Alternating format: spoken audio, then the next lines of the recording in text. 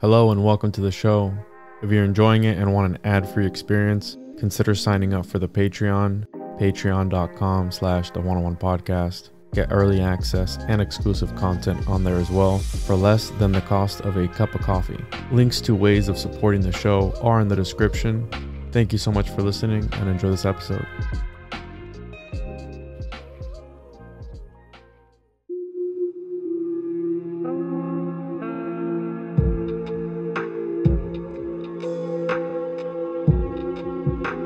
Welcome to the Juan on Juan podcast with your host, Juan Ayala.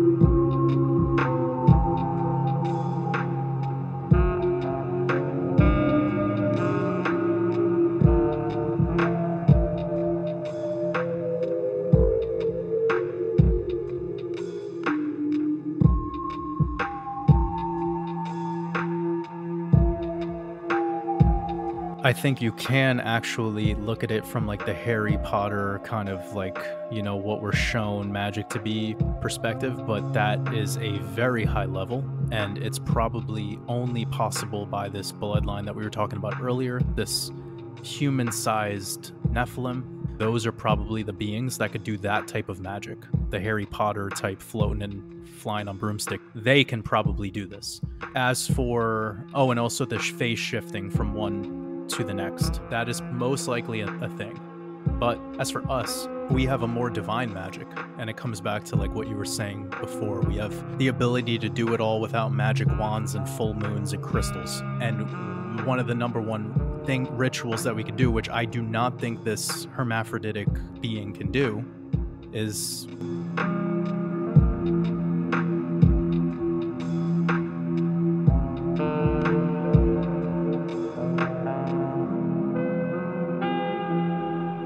Welcome back to another episode of the Juan on Juan Podcast. Make sure to follow me on social media at the Juan on Juan Podcast. Juan on Juan Podcast on pretty much everything. The juanonjuanpodcast.com for everything else. We got the Occultis Mundi. We have the comic book. This is a value for value show. Patreon.com slash the Juan on Juan Podcast. Everywhere, you know where to find me. And today we are joined by a very special guest, Waters Above. What's up, dude?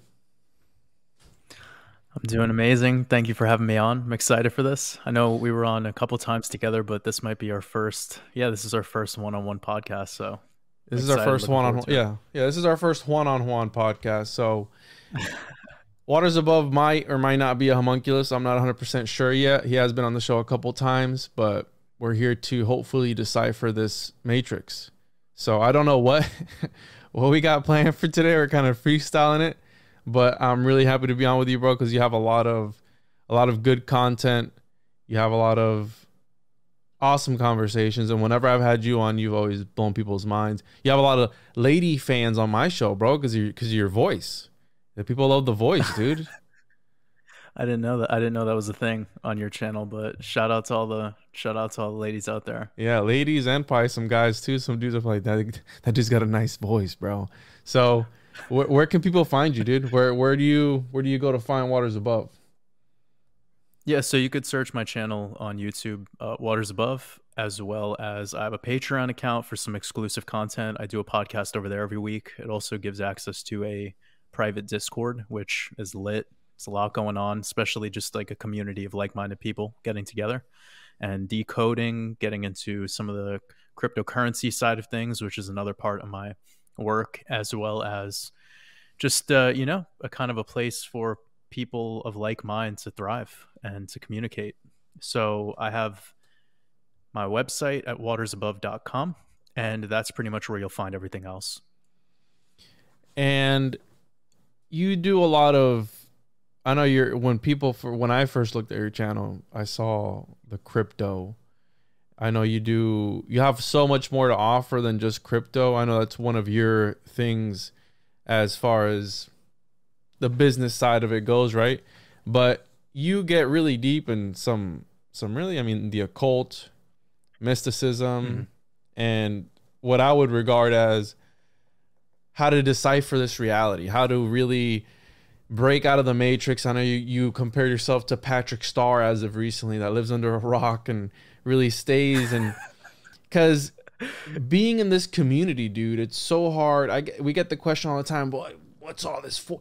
What are you putting all of this information for? And I go, and you broke it down perfectly. He's like, if you know you're a fish and you know that the fisherman is trying to fish for you, you don't grab the bait and you just keep on swimming, but you're still a fish. Because unfortunately, the way that this works is you still have to be part of the matrix, for a lack of a better term. Yeah. You still have to be part of this organic. I, I think it's now I'm leaning more towards an organic simulation of some sort, not mm-hmm. a mm-hmm. binary hardware computer, but more of a, a organic, maybe sentient being, right? Something, something's up, something fishy's up. I can't really. I have no answers, but you know, being eh, understanding this this matrix, you're one step ahead of the next guy over. Yeah, you know what I'm getting at?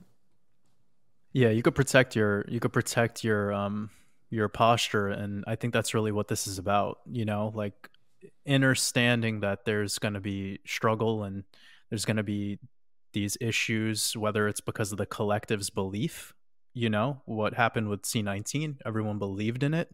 Therefore it created that energy. Therefore we all had to like kind of go along with it whether you're awake or not.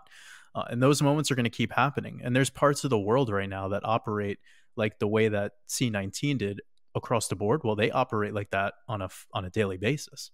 You know, where they'll just have a blackout ritual once a day, or they have whatever they're doing with uh, weather modification. You know, you so it, I kind of look at this reality like a big game of poker, where you're dealt these cards.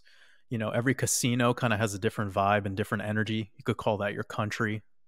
You know, when you get there, you're working with different currencies, but ultimately, like, there's still the same goal of winning, maybe protecting your winnings or pre- preventing losses and I know it seems kind of an odd way to put it, but when you really start getting closer and closer to what's happening here regarding the roles and the player characters that are involved in this casino, well, you could be a player, and that's what we call the collective. And then you start to elevate to where you become the you become the dealer. And that's kind of like what a decoder is. You know, you kind of get to a place where you've already been there. You kind of get what's happening.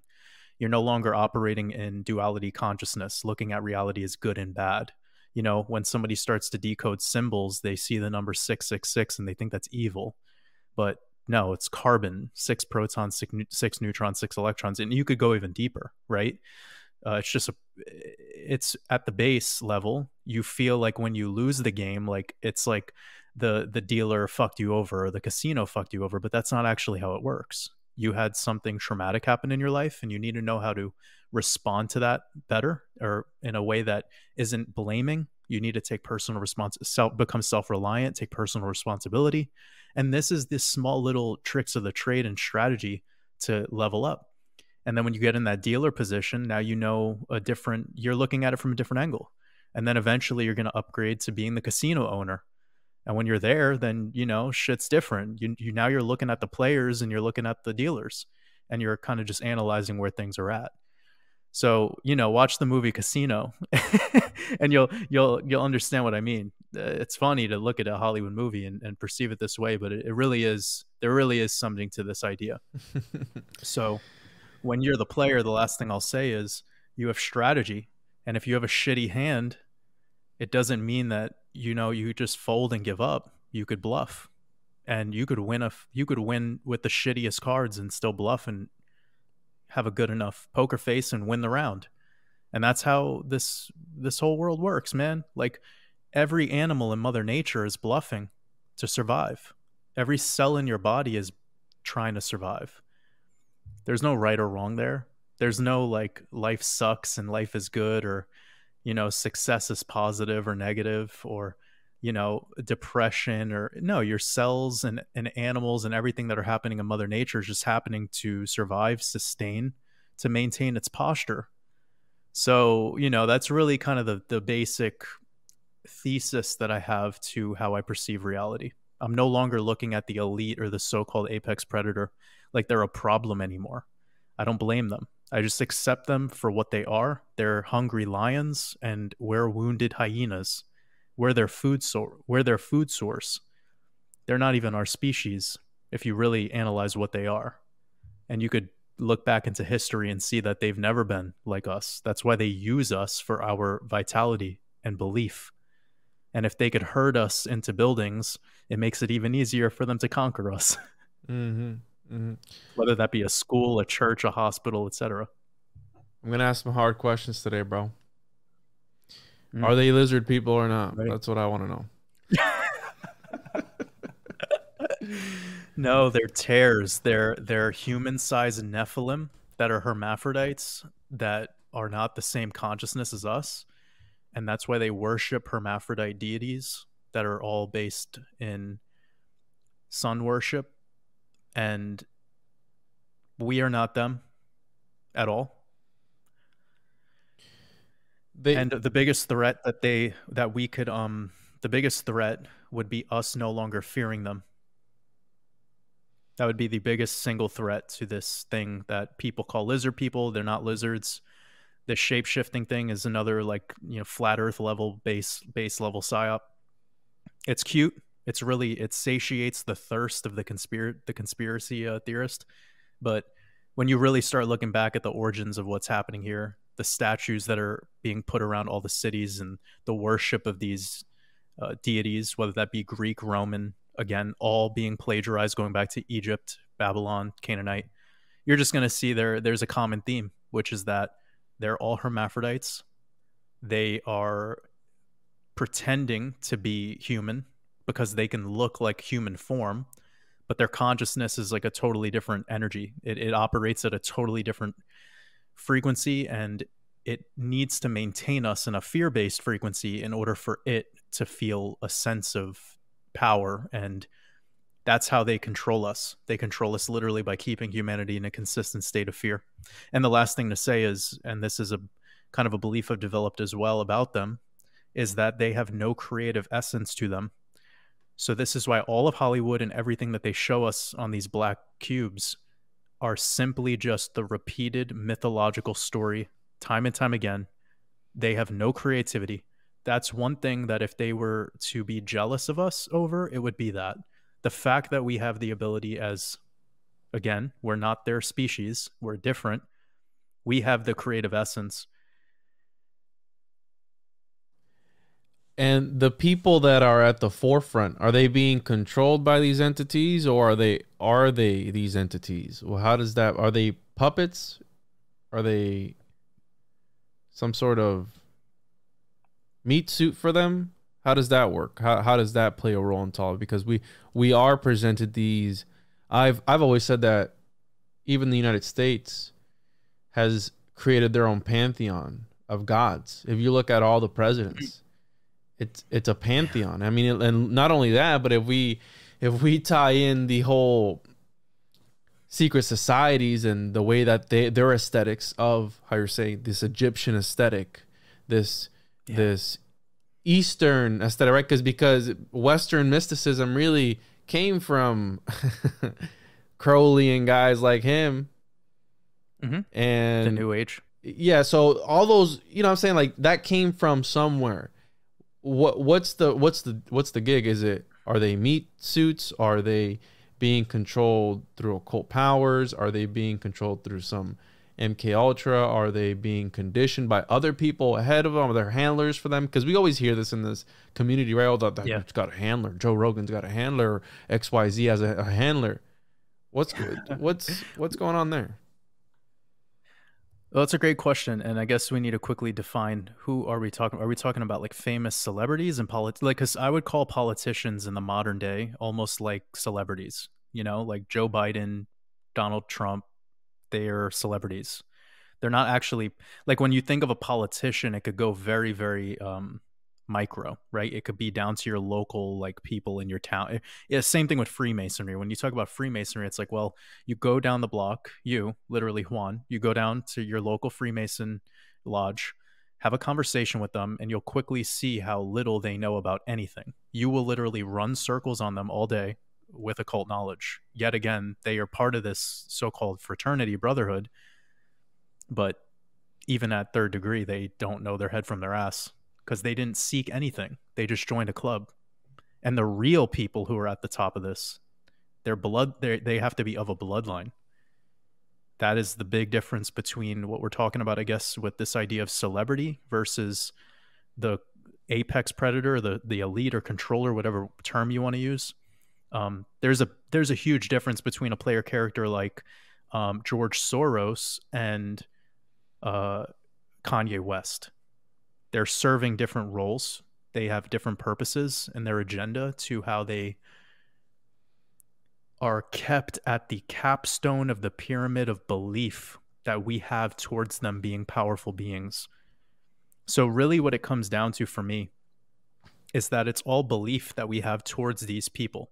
If we believe that they're talented, or believe that they're geniuses, or believe that they're influent or rich, even if, if we believe they have wealth, these are all sorts of things that elevate these beings up this tower of Babylon, if you will, to get closer to, to a god. And that's why they're worshipped as, as gods. Um, so I don't know. I guess can we clearly can we kind of delineate what what what we're talking about here? Whether we're looking at celebrity or like a real a real elite, like a like a Jorge Bergoglio kind of character. Like who are we talking about? Yeah, I'm talking about the people in the limelight. Any any really anyone that you could write that passes that threshold and is considered elite by and you make a good you're asking a good question because what what makes you an elite is it the amount of money you have in your bank account or is it I believe it's the right. what Gustave Le Bon term the prestige that they put out this how you're saying this prestige Status. but yeah are we giving them this prestige that they put out how you're saying are we self prophesizing yeah. are we powering this sort of egregore this sort of and that's one of the things exactly. that if there is egregore type of exactly yeah and that's one of the things about being in this community was like oh well this thing is going to happen. We and I just pulled up the State of the Union because he's uh, Daddy Daddy Joe Biden's going to be talking today, right? I'm, I'm excited to see that because he's like this weird automata, you know, that he can't even really articulate what he's yeah. trying to say. but this, I'm I'm referring to anybody, and you mentioned movies. Right? We're gonna be jumping around here a little bit, but you mentioned movies, and they're cinemagicians, bro. I mean, this is one of the Coppolas said this, and I'll pull up the quote here in a little bit. That you know old magicians and, and the magicians of now, the, the the cinema magicians are the same thing.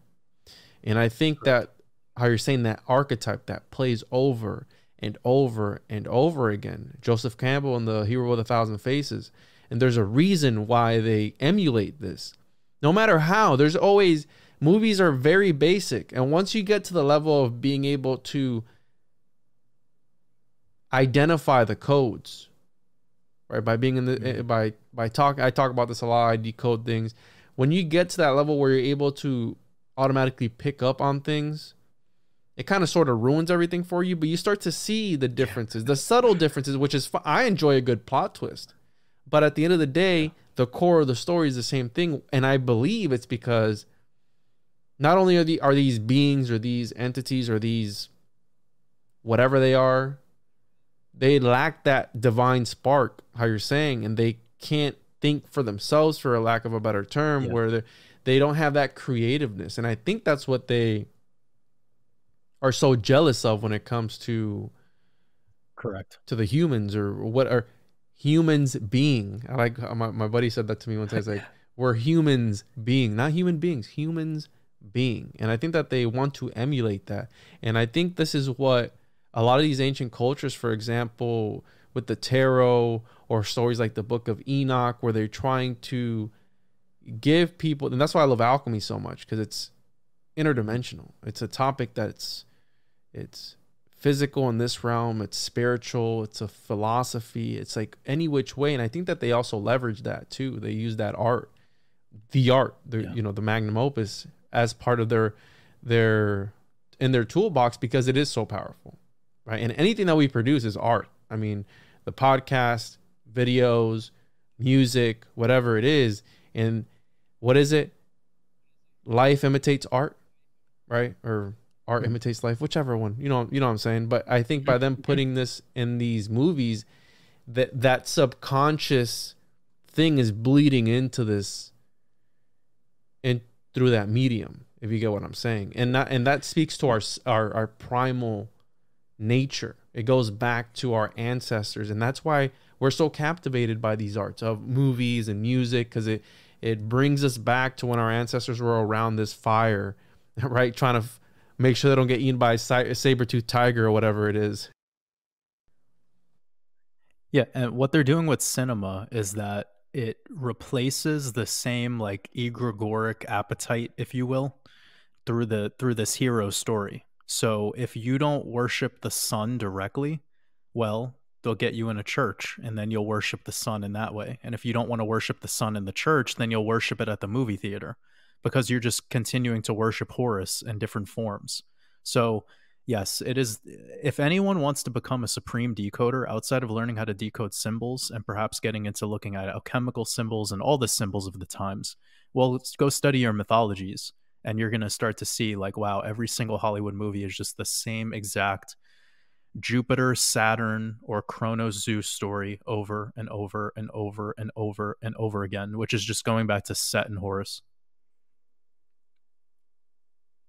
yeah absolutely and that's why also you have the syncretism of all these ancient religions ancient gods where it's the same guy just with different names and then the church got to the point where they quite literally just bunched up a whole a whole pack of them into one guy and they sent that out yeah. to the people. And my favorite was when they were trying to convert the Nordics and and all these people, the Vikings, and they would just take their pagan gods and turn them into saints. Like, hey, yeah, this is your saint. Now he's part of us. Because and and I grew up, dude, religious. I'm not the most religious. I do believe in God. I do believe that there is a higher power, there is a higher creator, there is a something running all of this because and at the same time sometimes i think is, is it all bullshit I, I, think like that too. i get nihilistic sometimes you know you get in those moods bro where you get so not i'll be driving and i'll be thinking like why is the paranormal a real thing are dogmen real yeah. is bigfoot real yeah, what if it's all bullshit? you know what I'm saying? I'll, I'll just keep driving. Like, it's all bullshit. And well, it, it okay, but it is real though, because think about it. Like, think about what's going on here. It's just belief. If enough people believe in it, it becomes real. You didn't know about Jesus until you were told about the man. But before there was that character, there that character didn't exist. And again, it's just plagiarized and the baton is handed off from one age to the next age. And you start to decode it and you see that this Jesus character is just another player to fulfill the same storyline that I just talked about earlier. It's a hero, it's a savior. That's it. So when we get to the idea of God, like all God is there for when it's outside of you is playing you, know when you talk about belief in the way you just did you're talking about duality because you're like i either believe or i do not believe mm-hmm. well that's the problem that's not how rea- that's not how the organic realm works it's not as it's not like that duality. It's more like a pulse or a breath in and a breath out, and it's continuous and it continues for survival. So, anyways, to get back to the God thing, it's the mind of man that creates God. That's it. God did not exist until our minds designed it. So, when the mind designs it, the reason it designs it is because it needs to, again, to maintain its posture in its survival or lack of survival. When it feels like something is imposing on its survival, it needs to blame something else now. Because if God gets to be the good character, then who gets to be the bad character? Then we go right back to duality. Now we need to create a Satan or a Lucifer or a Phosphorus or a Venus or a fucking whatever. That's just what we like to do because it's a thirst we have to not become God. Because when you become God or be a God, which is just a witness, by the way. That's all God is. You are a witness. Your left eye is Isis. Your right eye is Ra. Your pineal is El, is Ra El, the Holy Trinity in the skull, the skull, the skull, Solomon's temple. This skull creates it all through thought, Thoth. So just think how we create these things because we like to have a rhyme and reason for why things are going the way they're going because of and this is the final thing I'll say. Man is a memory. That's all man is. And two we're just working with our thoughts So time is thought. That's all time. Time is literally thoughts. We need to kind of balance everything on the scales of existence through birth till death, the mortality. Then we use these thoughts to either keep us feeling comfortable or challenging through uncomfortability. And this is why some of us seek these deeper truths. Some of us are going a little bit further. We're more willing to burn the, ca- the calories to research, whilst the average person isn't, has zero desire. They are literally okay with the idea that they were born and they die. And they give up everything to an externalized God. And then they obey. They're obedient. Those who seek truth are really seeking to be uncomfortable. That's the issue here that I have with the truther movement is most of them don't want to be uncomfortable. They like being comfortable by creating these kind of like how do I say it? They they they like to just make reality tunnels. Correct. And it's commitment based. It's oh, I learned that NASA's bullshit, so now flat earth is my god. oh, I learned flat earth is bullshit, now concave earth is my god oh, I learned concave Earth is bullshit. Now uh, the moon reflection theory is my god, and it just keeps being replaced. And it's the prior thing you you look at as an enemy. And all I'm saying to everyone is just look at it all as a necessity for your growth and your expansion. A trauma that happened in your past is not a bad thing. Some somebody that took advantage of you or a shitty thing that you could look back on, don't blame those people anymore. Learn how to forgive them the same NPC that you're making fun of right now, you were once them at one time. And there was a wise individual looking at you, talking shit about you. So you see, it's a graduation process. I'm just saying, don't commit every step of the way because there is no commitments when all of it is being created by your thoughts or your comfortability with the the temperature of the thoughts. If the thought is too spicy and too hot, you need the shade. So it's a it's like a self-regulating mechanism that we use when we're on the path of seeking truth. And you, to touch on what you mentioned earlier, that you're gonna you're, you're making um, I can I can hear them now, bro. I can hear them. I can read them in the comments right now. Some some people are getting uncomfortable. Some people are feeling Good. some type of way. you know, I'm I'm, I'm literally I'm here to waterboard you. So, because I had to waterboard myself so many times to get to a place where I learned that the only reason it was uncomfortable is because I had a weak ego. When I strengthened my ego, which another thing, this is going to hurt a lot of people, but I that's what we're here to do. When you strengthen your ego, you regain access to your intuition, and you know that this discomfort that you're feeling right now is there. It's there, and it's there for your growth just like when you're getting better at push ups or pull ups or lifting more weight at the gym. Your first day in the gym, you might only be able to do a couple pull ups, but then the micro tears that form in your muscles and then heal, and then the process of the practice, you you start noticing that oh now I could do th- two and I could do three and I could do four pull ups, and then one pull up which used to be difficult last month is now easy knowledge and wisdom and gnosis is just the same. It is a workout. So if you're uncomfortable or you're offended, it's because you're still on one pull up. And eventually you'll get to a place where four is now easy and then 10 is easy. And then you're not worried about the offense any being offended because you just see it as someone's perspective, perhaps something that's almost like art, right? There's no good or bad art or wrong or right art. So I urge people when you're seeking truth, don't get caught up in this whole like agreeing or disagreeing thing. We're not here to agree with each other. Because when you always agree, that's called worship. And worship is for slaves. yeah. I'm just thinking right now be weary, be weary or beware of unearned wisdom. You have this one here wisdom is not a product of schooling but of lifelong attempt to acquire it yeah and and that's the thing right because a lot of people will be like oh what's all this for i can't answer that what what all this is for but i think it was on your stream from this past week and you were talking about like life like we're all we are lives we're not living a life we are lives we're all human lives and that's Yeah. that's what that's what because every right they they've programmed us since I was a kid. I remember being programmed through trauma through. They used now. Here's the thing. I don't. I don't want to disrespect anybody's beliefs because I do believe that some people, regard, and we can get into the NPC stuff later, but regardless Mhm. if they're NPCs or not, whatever. Let's just put that aside for a Yeah. second. The people who are still in Plato's cave, the people who are still watching the shadows on the wall, right? Those people. Some people need structure. Some people need a, a sort of structure in order to guide them in life. So that's what I feel religion does. It serves as a structure, as a scaffolding, if you will, a Mhm. mental scaffolding for some individuals who need that.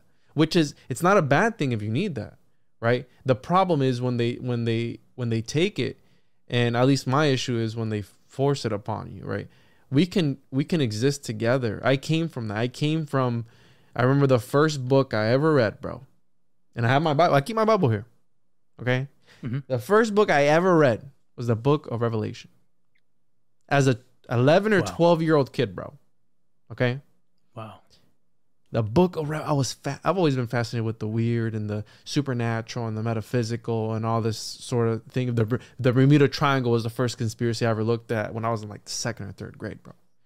So I've always been interested, and as a as a human, you're interested in oh how is it gonna end, right? That that's been that how did how Mhm. did we get here and how does it end? So by me reading the book of Revelation, I I was really into the church. My grand I I grew up with my grandma.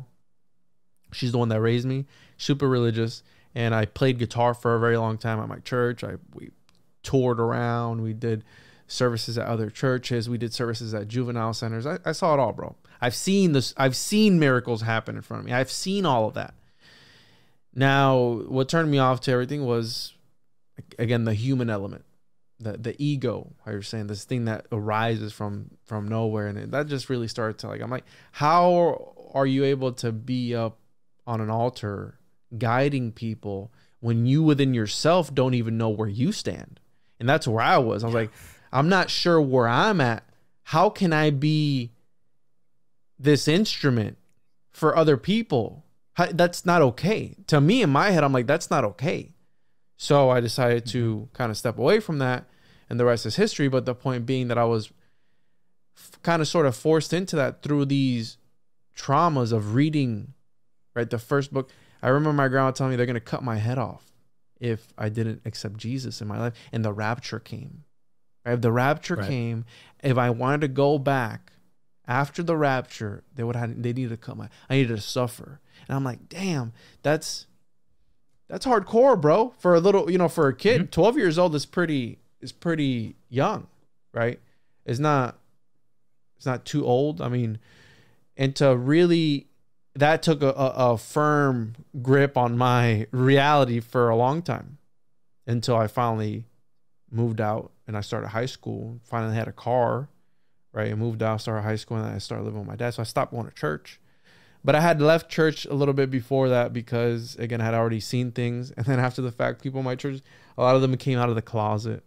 Right, a lot of mm-hmm. them came out of the closet. The same people I was on that altar with, who did, who knew that they didn't know where they stood mentally, or spiritually, or whatever it is. And then you're gonna put up this facade of leading people.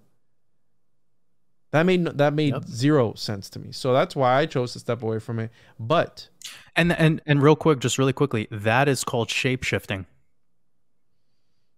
so was I the shape? when you hold we're all doing it it's funny how we make fun of these this conspiracy lizard shit David Icke made up out of nowhere Mhm. so this is the thing we're all shape shifting let's take personal responsibility for this guys when you go outside of your house and you start being a different person just to be a part of society that is literally shape shifting when if your mother is ultra religious and your and your wife is not and when you Mm. go over your mother's house you start being a totally different type of person to just fit into the environment you change to the temperature of the room.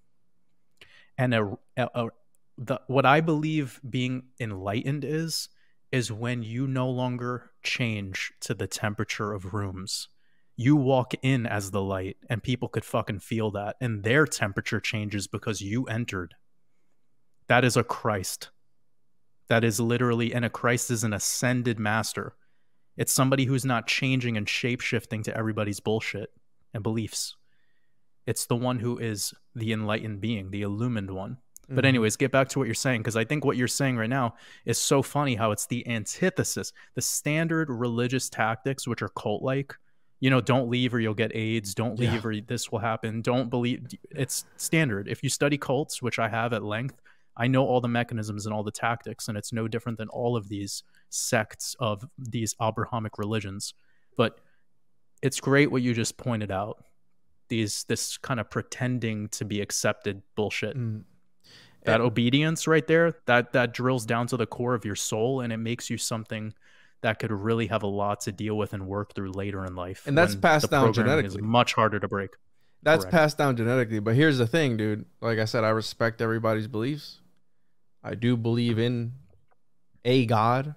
If it is this, my friend calls it Saturnian depiction, is the old man with the white beard sitting on some throne in heaven. If it's that, or if he is some black dude, Father time who yeah, Father Time. If it is some black dude like they do Black Santa, who, who know? We don't know. The point is that we don't know, right? These these concepts that are so above our pay grade, and I tell people all the time, I'm not going to sit here and pretend to know.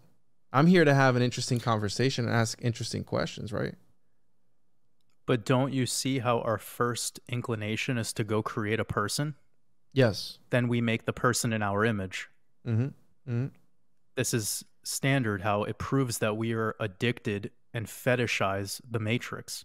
We love the blue pill. We just don't want to admit it. Ignorance you is love bliss, being right? a body. So when you create a when when somebody wants to have the philosophical conversation of an externalized god and then you go oh it's a guy. Oh it's a guy with a beard. No it must be a guy that's black. No it must be a, a no it's a woman actually. You see it just becomes this like master it's a bukkake masturbation on top of like the- you know the the the obelisk of belief. Mhm. you're all just having fun in this nonsensical uh you know and and it's fun i guess if you like playing that game but as you become more enlightened you see that that game never served you. It's not designed to serve you. It's designed to control you. It's designed to make you obedient to worship. It's a technology. It is almost like an artificial intelligence taking over you. It's cheap dopamine. You Mhm. being like this is cheap dopamine. It's akin to scrolling through TikTok. It it literally feeds and gives off the same chemical reactions. it's it's the Ouroboros, right? I mean, I've always I mean, I've always asked myself: Is the Ouroboros regurgitating itself into existence or consuming itself? Because if it is consuming itself at all times, it needs no sustenance. It feeds on itself, and that's ex- essentially what we're all in right now. We are constantly feeding on ourselves. It's a form of uh, auto cannibalism where we are in this matrix, we're on this hamster wheel, and we will always have just enough of what we need to keep us going. And for some, that's beliefs. For some, that's money. For some, that's something else, right? We're always chasing this one thing. And it goes back to what I was uh, talking about earlier, where it's like we're programmed to think, what do you want well, the first question, bro, what do you want to be when you grow up? Back Yeah. to the whole life thing. Like, what do you want to be? I re- you remember that, bro? The- Be, uh, what, what, what do you want to be? Well, I don't, I don't know. And then you have societal pressures, you have cultural pressures, you have familial pressures, and you put that all into whatever it is. Now, I also do believe that we are the philosopher's stone, right? And I like the way that Manly P. Hall puts it, where these experiences that we all go through are what is putting those facets on that philosopher. So what's chipping away and mm-hmm. creating that, you know what I'm saying? Where it's creating that philosopher's stone and, and it, it's necessary. How you're saying being under pressure is necessary, going through these experiences. And one of the things I've been getting into recently is phenomenology, right? Where someone's experience is real to them. This is why I don't disregard any any ideas or any thoughts. Mm-hmm. I respect everyone's ideas and I hate when people reach on their like or they comment or something. They go, "Oh well, it's flat, bro." I go, "Dude, can you just I consider every I consider every single one of my episodes a different dimension. When you turn this podcast on, you're stepping into my I'm the demiurge here, okay? We talk about what we Right. want to talk about, how we want to talk Mhm. about it. And if we want to acknowledge these other things that don't relate to our conversation at hand, we will, and if we don't, we don't. You know what I'm saying? And, but people get so wrapped how you're saying they identify with these ideas, with these concepts, and they want to push it on other people. And that's okay. Yeah, they they call themselves they call themselves flat earthers. Like just think about it. This is part of one. This is part of the conditioning of going up to your child and saying, "What do you want to be when you grow up?" That's all part of it. Okay, it's all about outcomes. The reason why our reality is kind of like so based in time and materialized in a time scale that we can't even touch, called tomorrow or when you're 50 or when you're old or whatever terms it's working against you and they're doing it to you from the start. And let's get back to the pressure concept. Well, if you're born religious, then you are under that pressure to maintain that religion and bring it into your family structure. If your father's a lawyer and your father's father's a lawyer and your father's father's father's a lawyer, you know, great granddaddy's a magnum cum laude, whatever the fuck they may. This is exactly what it is. You need to be handed the baton and then you have the lightsaber now and you better be you better be like in step in sync with the cult of this family lineage through title through title through last name right? So this is all kind of feeding the thirst of the of the program the programming language. And if we're looking at this from a simulation theory perspective this is what excites me most to talk about it. But what i like to get into is this is what makes your nipples of- hard? Waters above? Is this what? it preci- precisely. Nice. All six of them. nice. So, so when I'm thinking about these things, I always get back to the okay. We're calling ourselves these terms, whether it be flat earth- earther, or simulation theorist, or you know, and and I'm okay with that. But don't you see how you die with the belief of that thing? If that thing fails and something comes along to de- debunk this, not only do you have this innate desire to fight for it, to literally be in the army of the flat earth, because right, if somebody comes in and changes up there and, and gives you an alternative vision, especially if it's the ball earth vision, now you're at war with them. And it and it's this ongoing battle of the ages.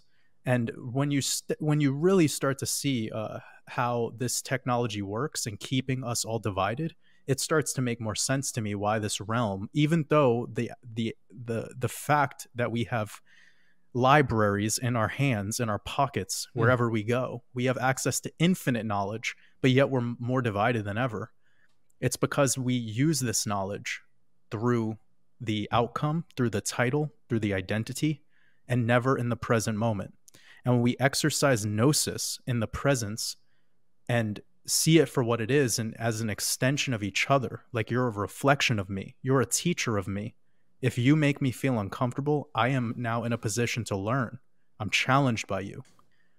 We can never be challenged if we're only around people who go across, uh, who keep communication and have so-called friendships or have communities that are based in agreeing on the cons- on the same concepts across the board. This is how cults develop. This is the reason religion has stood the te- the test of time, right? And we see this in religion as well. My God's the true God. No, my God's the true God. No, my God's. And now we fight a war over it. And it's like, wait, but the Ten Commandments straight up say, thou shalt not kill. So you guys are so obsessed with your version of the truth and you're so offended by somebody else's version that you're willing to literally have a blood ritual sacrifice to somehow solve your problem. And we do this intellectually when we play the game of flat earth versus ball earth. So that's why I've I've surpassed it. And it's funny because my name is Waters Above, which a lot of people quickly identify me as a flat earther because of this. And I'm also not saying that the realm that we are currently stationed on is round or a ball. That's not it. I'm just not commitment I'm not making commitments yet. Yeah, that that's. And I reserve the right to change my mind at whatever point in time because I'm always learning, and I and I that was another one of the things going through the church. It's I always said I'm going to hell in somebody else's worldview.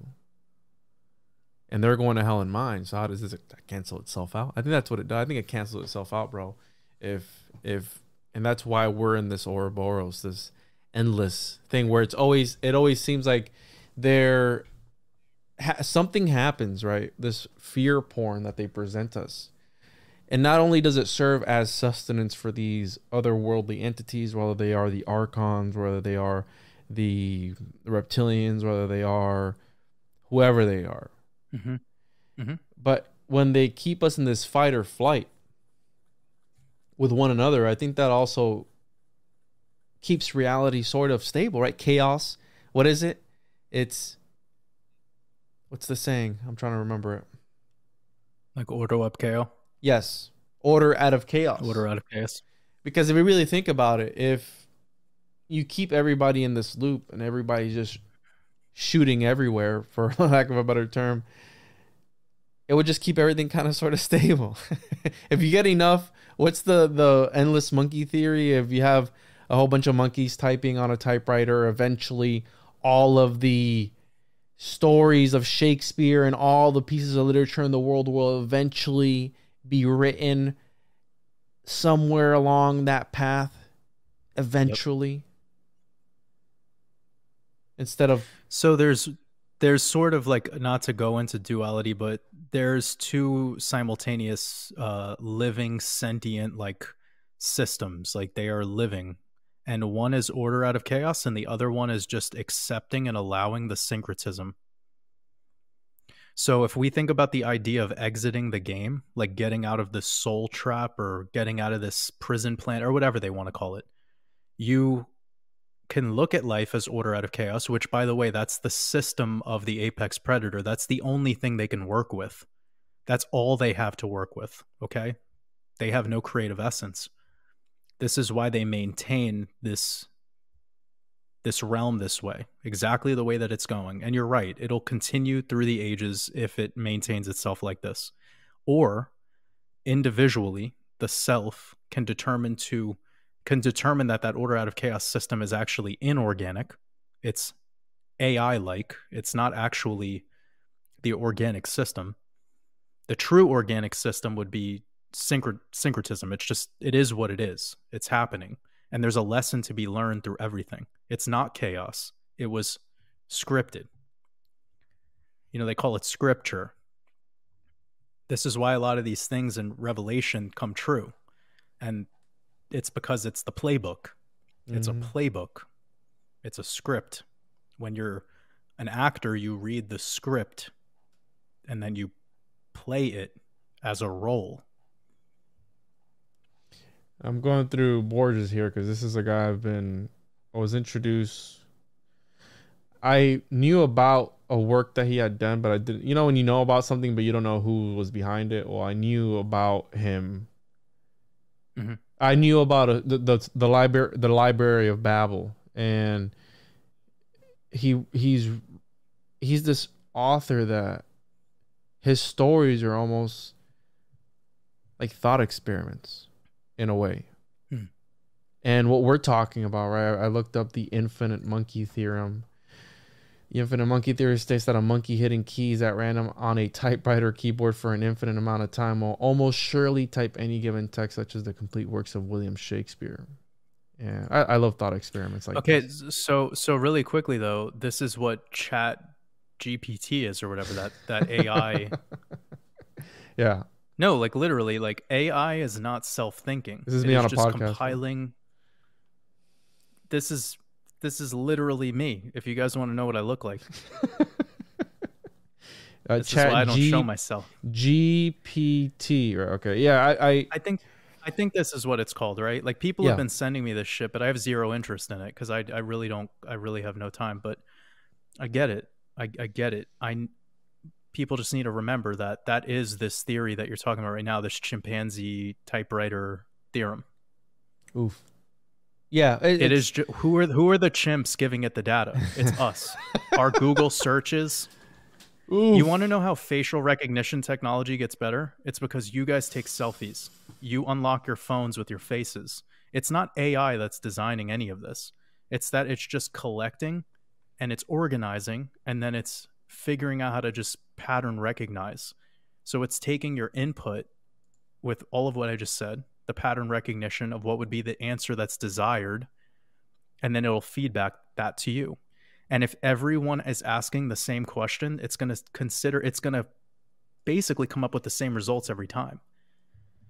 But this AI kind of shit that they have going on right now, it's really ramping up. You could see a lot of artwork, so called artwork. It's not real people anymore. It's just people typing in a word into some sort of simulation thing. And it's coming, it's feeding back, you know. So this is going to become our future. You know, like all aspects of so-called creation it's not people are going to be too lazy. They're like, why the fuck should I make a painting when I could just type in a sentence into yeah. some fucking website and yeah. then it'll feed, it'll just piss out an answer. I also like. I'm think... just saying, yo. I don't want to hear anyone complaining about this shit anymore. Stop complaining about the AI takeover. Stop complaining about like art is dead. All of this creation shit is dead because it's dying with your search results. You are the one that is the Grim Reaper Damn. coming to with its scythe. It's us. Like we just need to take personal responsibility. You can't blame Elon Musk.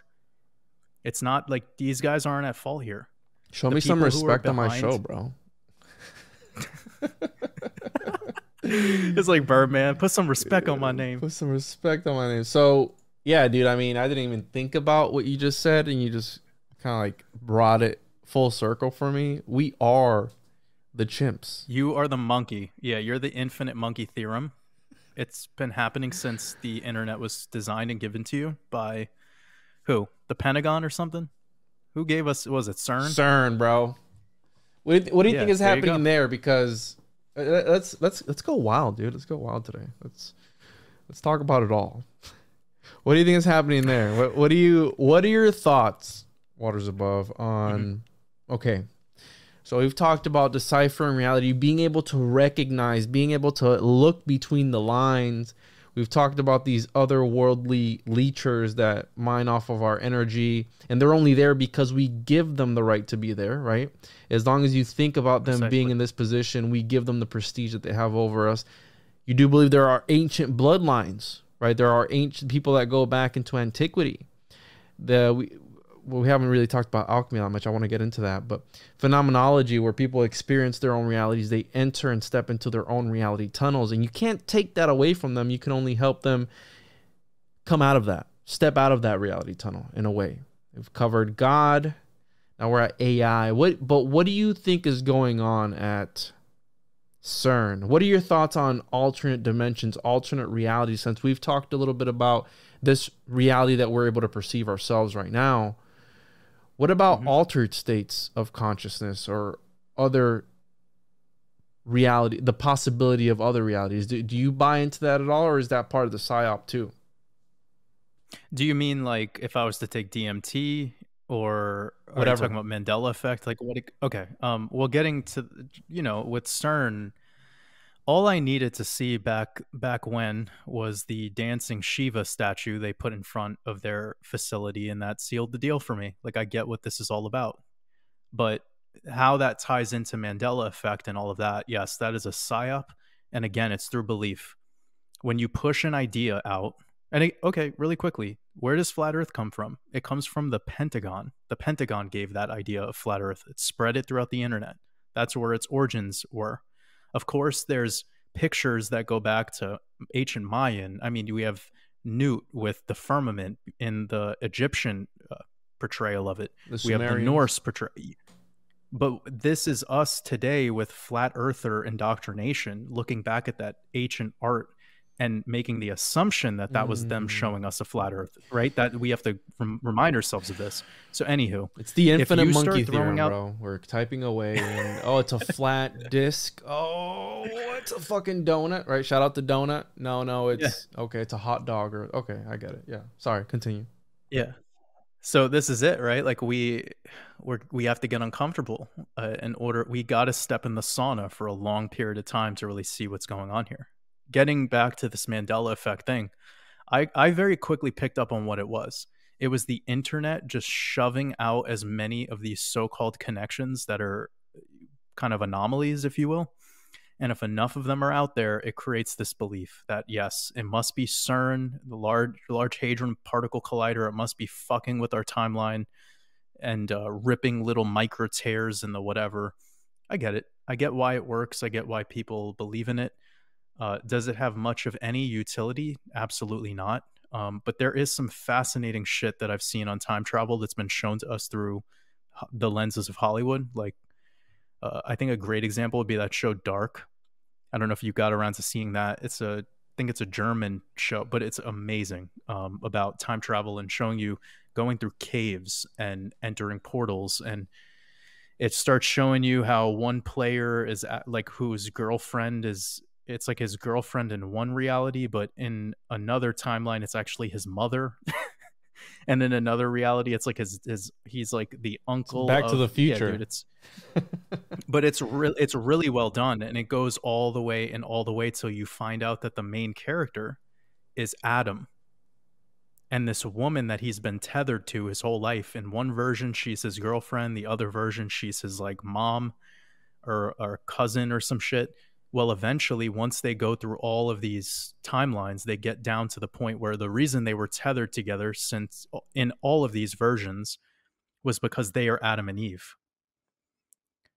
So that could be the theory behind soulmates or twin flame or whatever we think of with that. Like why does it feel like the person that we're meant for we feel like we've known them forever. We kind of have that like bond mm-hmm. with them. You know what i'm saying? Mm-hmm. so this gets deep into all the shit that could be going on with the theories around cern you know it could be part of this simulacrum you know like some sort of artificial high level tech high high level technology artificial intelligence i don't know but I, I really um I could go so many places with that. I, I'm just gonna quickly assume though humans need to remind themselves that we have a very tiny bandwidth of frequency that we can perceive. So with this very limited bandwidth of perception, we should be the last player character to develop belief in any of these things being real. Ultimately, a majority of it is a psyop. So it takes you to have discernment to really discernment. It takes you to have that discernment to be able to determine, you know, what mm. utility does this have for me if the Berenstein Bears was spelt this way or not. Because that was what quickly that was the shit that quickly got me like uh, it was like unsavory. I'm like I can't use this stuff. It's just it's more fast food for the conspiracy theorists to play around with and nothing nothing progresses with this information at all. The dancing shiva statue is says a lot. This is definitely a symbol of creation destruction energy and you know with the fact that they created the internet or, or distributed the and what would be the proper term? Did they distribute the internet to the public? No they gave you access i guess. I mean you you okay. tap it you this is my personal you tap into it right? That's why it's a portal. Yeah you know you sign in through mm-hmm. the portal and you tap into it wherever you are. You sign in. So i don't think they so much distributed it. They just gave you access. Yeah. Yeah but when it comes to the psychedelics and all that shit i think that's really an amazing um, avenue to drive down as well because people who do dmt they're seeing similar things um, you know seeing robot elves and shit. People that are um, taking ayahuasca in group settings are all seeing similar things all together in that group setting. People saying that they're seeing these evil looking fucking clowns and shit, uh, mm-hmm. uh, multi armed beings. You know, they're seeing beings with six or eight arms. Well, where do we see that, right? And keep seeing that in the Hindu uh, interpretations of stuff. So you know what I mean. Like I think uh, um, I heard UG Krishnamurti say something that I really agreed or it really resonated with me. He was saying that all of these Vedic traditions and all of these so called ancient uh, mystic writings that we're getting was all created by people who were high on mushrooms. Like he literally said that. And I was like, wow, this is pretty interesting because when you hear people who do these DMT trips, they're showing you these beings that you would see in paintings and and drawings mm. back from you know Shiva, Brahma, etc. Ganesha. You see some fucking elephant god. That's the kind of shit you'd be seeing in these altered states. Um, so th- those things could exist, but I don't look at them that way as much as I look at all of that stuff as parts of our body. Uh, but that's a totally separate conversation, and that might be a little confusing for staying on track at this point. I mean, what is even staying on track, bro? what, what does that even mean? Yeah, yeah. I wish I. Well, had a- Ganesha is your sacrum. So you're you're talking about the occult anatomy of man, pretty much. I don't know if you've read that by Yep. Manly P. Hall. I haven't, So he relates. but I but yes, there is some sort of there is uh, abs- absolute connection to all the liquids in our body, all the you know all the fluids, all the bones, the parts of our brain, chakras, however you want to look at it, muscles. They're all coming back to these titles, names, these big buzzwords that you get with the new age. Mm-hmm. Mm-hmm. And uh, yeah, I recently learned that the the alignment of the chakras through tantric yoga and whichever way is a way of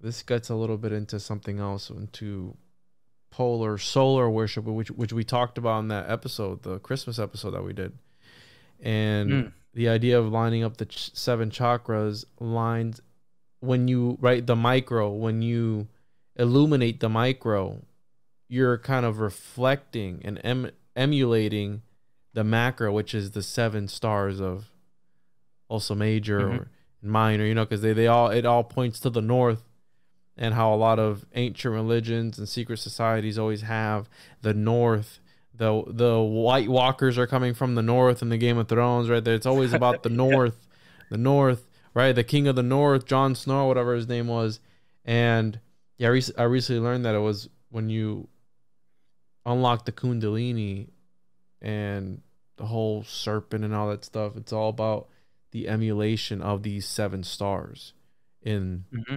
the sky and i i believe that there are 100% altered states of consciousness.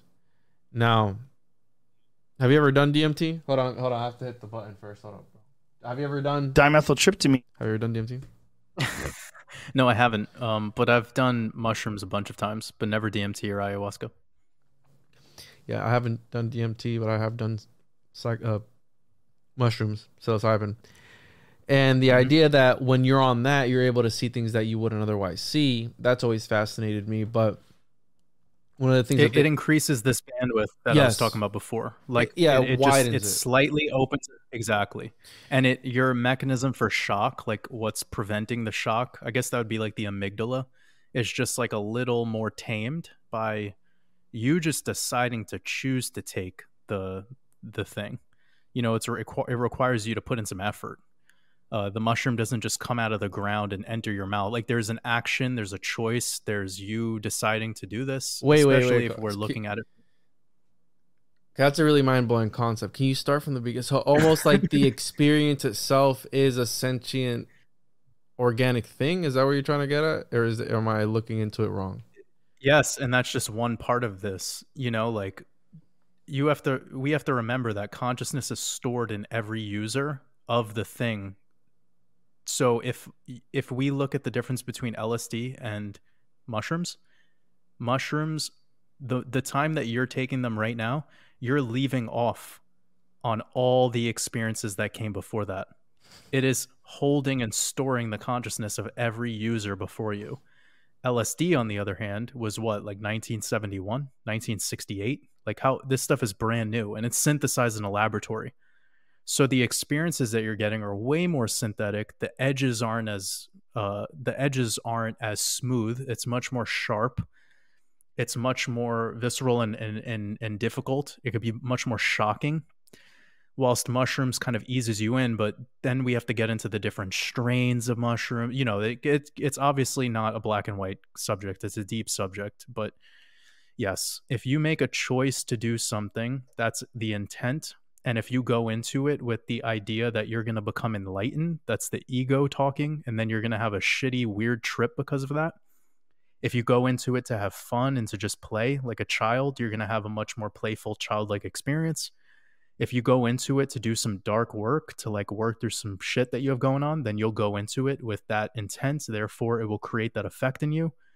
If you go into mushrooms with fear, which is what 99% of people end up doing, that's why you have that that experience with it you know? It could take you into some portals some dark places that are timeless because ultimately the one thing that scares the shit out of humans the most is death or time but those are both they live in the same mansion because death is the end of your time so that's why having the when you become fearless of death, you tend to become fearless of everything, a lot of other things, because you're like, well, what does it matter? I'm just gonna do whatever I.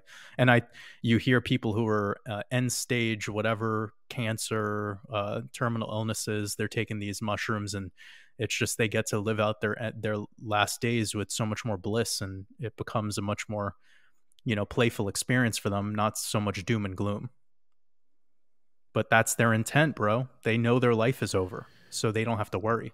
If you take somebody who's going into it and they're trying to become this enlightened, wise swami, that's the ego, right? And then they're going to go into it with this egoic kind of energy and then they're going to leave with it with this kind of like inflated so yeah man the intent of it's magic right it's all it's all magic people need to be cautious when they're getting into these things because if you're not ready to work with the energy mm-hmm. or you're not pure in the process, you're going to create, you know, you're going to, that it's just like the energy of it all.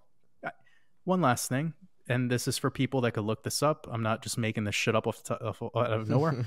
There's a study from, uh, I think his name was like Yamamoto or something, Japanese scientist who was like putting tape on the outside of glasses of water and then writing words on it.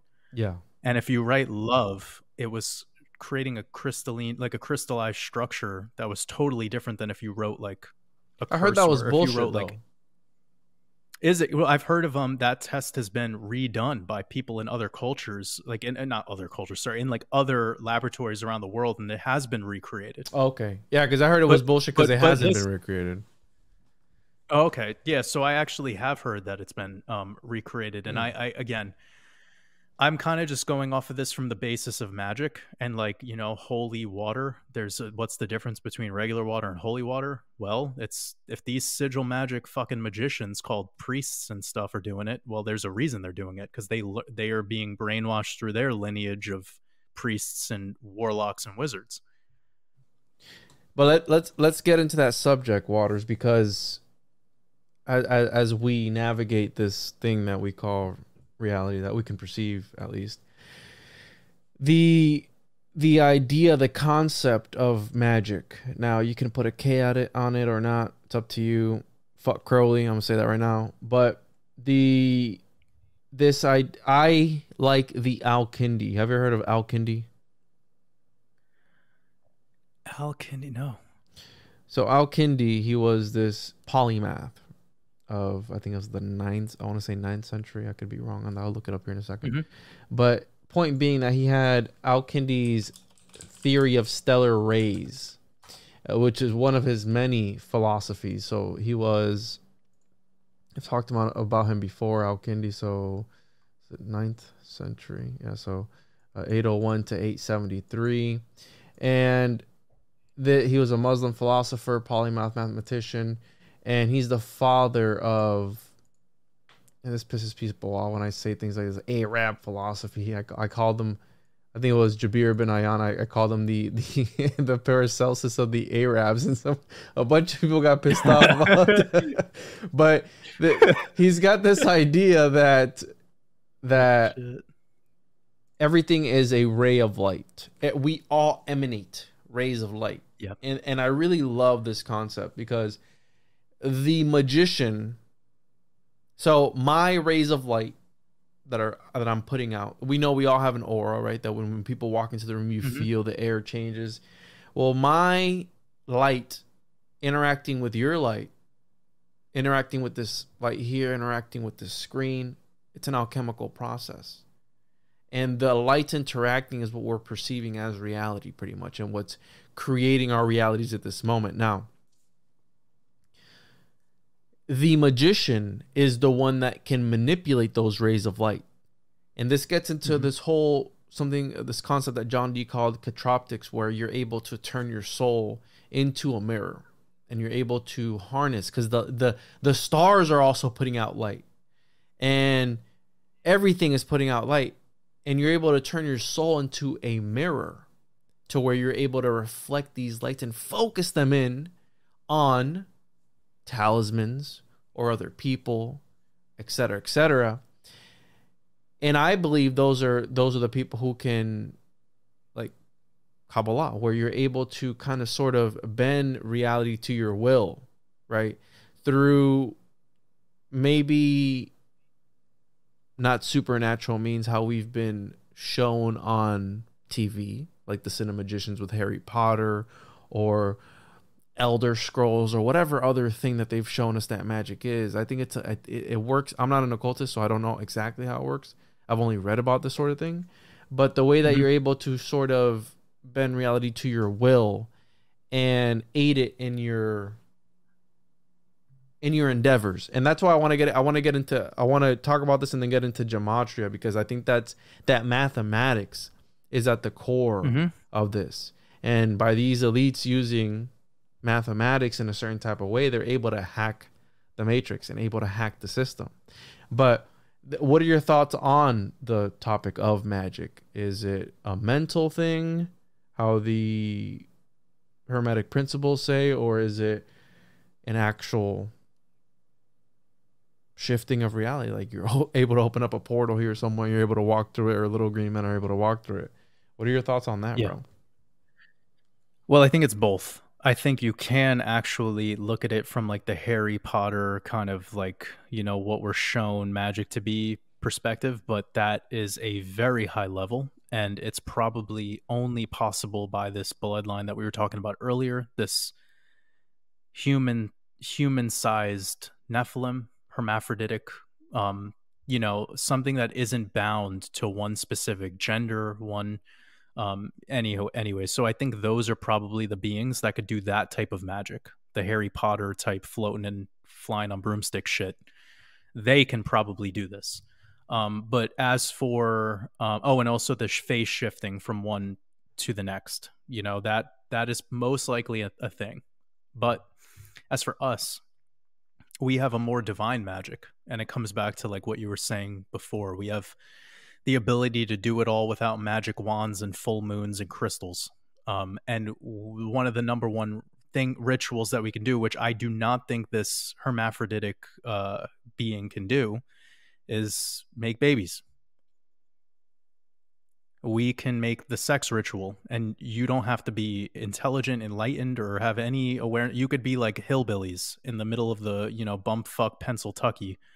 And just by the strike of luck you can make children like you could literally create a bit a person okay so that is a very divine magic and that's something i do not think these these hermaphroditic uh beings these these human sized nephilim can do I do not think they could do this. Um, they can create more of them, but they're limited. And I think that they start to have really bad, like a really difficult time with their um, birth rate and with uh, a lot of failed births. Uh, I think this is why we see that the cloning concept or the consciousness transferring concept makes a lot of sense, and why the types of beings that we see that are in pol- like the big political roles, they don't even look like their faces are real. It looks like they're all wearing masks uh, we see a lot of the push and agenda at one time of things like plastic surgery.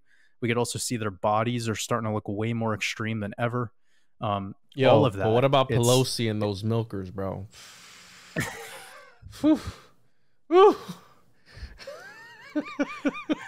Sorry, bro. I just had to throw in there. She's got some nice ones. Dude. Yeah, like when you look at her face, it looks like it's not real skin. Like these people don't look like there there's something about them that is off. Um you know, the the royalty for sure. You get this essence. I I actually saw this one video. I forgot where I found it, but it was that like Meghan Markle or whatever her her name is uh and Harry the Yeah. I I know which video you're talking they, about. They were at I don't know, they were watching some sort of concert and there was just a regular person who zoomed in on her and like took a video and she was robotic. Like her eyes didn't blink in a normal cadence. She was just kind of like a robot, like a literal uh remote controlled being. I, I do think the MK Ultra is a big part of this, but that's kind of a no, no, it wasn't this. No, it but wasn't. you- it was but- literally at like a live event. This is part of it though. They they let you see what you saw, and then they'll do stuff like this, like creepy, Mar- Oh. uh, and Meghan Markle masks. So it's like, oh, you know, there was just it was just a mask. It wasn't anything. Right. You know, what I'm saying to discredit what you're. It's like what they're doing. They do the same thing with adrenochrome. Like they'll go on like Jimmy Fallon or whatever, and they'll be like, and then these conspiracy theorists think they're drinking blood, and it's just like they make it into a joke. You're right. They do it like that because that's part of the insecurity. Oh, this is it, dude. I saw. I think it was something like um, similar to this. yeah. How But creepy. but you have to. But you have to ask yourself, how many times could that have slipped up Yeah. uh, with one of the presidents, with uh, people who who we see all the time? I mean, we've seen Kanye looking like that before. We've Mhm. seen Trump looking like that before. Like that, it happens. It slips, and um, I just think that that's a really um, compelling part to what's going on here. The optics, you know, just kind of making us believe that these entities are real people with a with a soul and I've uh, come to a place through my study where I don't even think they could bear children. Uh, I think all of them have to go through some sort of, uh, yeah, some sort of impregnation through through the through the sciences, through through through alchemy. Probably the womb works, but then there needs to be a cesarean. They're not able to have vaginal births like a woman. Um, yeah, kind of like a side theory, but getting back to the magic and the magic that we can do, um, that's the number one magic ritual that we could all do. And that's why when you go to the story of Adam and Eve, and people might be confused now, like, why is he talking about this? Well, the story of Adam and Eve goes back to the sex ritual. It's eating the forbidden fruit. This is this is an orgasm. The the, Mhm. the forbidden fruit has always been turned into an apple, right? Well, the red apple or Apollo is the root chakra. It is not Apollo in the sky. It is Apple low, low, as above, so below. The the root chakra. So she tempts Adam or Atum, Adam, what all matter is comprised of, and she tempts him into a sex ritual where he has the feeling of pleasure through the org they have the feeling of pleasure through that sex ritual through the orgasm and then they create eternal life they know as God knows, feel as God feels, and they have access to what God does, which is creation. That's all a God technically is, right? The creator. So the this is all told to you in Genesis. It's all just the sex ritual. And that's why everything that was plagiarized before it was much more in tune with parts of the body, the chakras, the energies, you know, talking about the Kundalini, all of this stuff. And then as we got closer and closer to Christianity, a lot of that stuff was hidden and and spoken of still, but in parable. Make sense?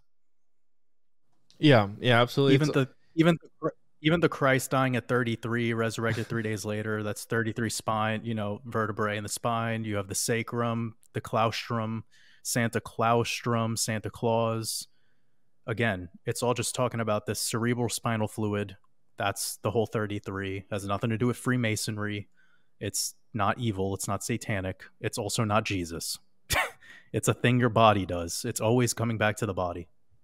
it's all alchemical language because I think that 100% all these guys are alchemists. And you mentioned the child, the childbirth, right? And these guys were trying to quite literally do what we're talking about, trying to hack this reality, trying to hack the matrix, trying to somehow exploit the occulted nature of reality of human rea- uh, human nature as well. And the birth, they were like, hey, if a human body can make life and can have a baby, how you said, in the middle of anywhere, uh, Yeah. no, no trying, no intent, no real No. intellect, just because you want to fuck. Yeah, yeah. What else can it do? And that's when you had a whole bunch of, you know what I'm saying? Like they were like, let's crank this up to 10. And they started to do all this percent. all this other crazy stuff and and that's how we have I believe I, I love the idea of the magnum opus where when when that reaction happens, bro, that this idea of it being the transference of a base metal in, into gold, that when that happens, the light that occurs from that reaction scrambles your DNA. Mm-hmm. And kind of and Jay Weidner calls it the homo luminous, where you turn into this light being, this uh, maybe Light not- body. light body, ascended master, whatever it may be, however it may, Yeah, it may or Horus, Horus, yes. daylight. So you literally become the daylight. And the daylight is only where you are, by the way. Think about this. Because when it's sunny here, it could be dark somewhere else. When it's winter time in Australia, it's summertime. So what you you become literally the sun, not a sun. Mhm. Right now, you're a son. You're a son of something, and you're working with their DNA, correct? You're working with their salts. Then you go through this process that you just explained, and you literally become the light. You become the Christ, the corona, the corona around Helios, the sun. You become the sun. And this has nothing to do with being melanated or any of that matrix level bullshit. That that nonsense about race. We're talking about alchemical within. And it's always as above, so below, as within, so without. So I just want people to know like, there's no, based on just the color that you were born or the sex you were born or any of that, if you think there's superiority in any of this shit, you're very, very deeply asleep. Because I know there's full blown communities that are dedicated to thinking that people of color or Aborigine are somehow like more superior because their skin is melanated and it, it could feed off this. None of that matters you have a you have a soul within you soul sun right? Soul is within in the darkness. Inside of your body is a chamber of darkness and that's where the sun is. It emits. And when you go through this process you explained this sun cracks everything open and the whole structure starts to be anew again. It is the phoenix rising from the ashes right? The four stages and I guess if we're talking about alchemy, there's a there's a reason for for this being basic. You know, it's actually not that fucking complex. If anything, there's been a corruption of the alchemical teachings to the masses, and that's probably due to the New Age and things like Theosophical Society, etc. But anyways, I'm sure you have some something to add. yeah, you're pissing off a lot of people. I know. Good. That's needed. pissing off a lot of Show people. up to my live stream on Saturday, and I think you'll be even more offended, and I get more prana. So, wow, okay.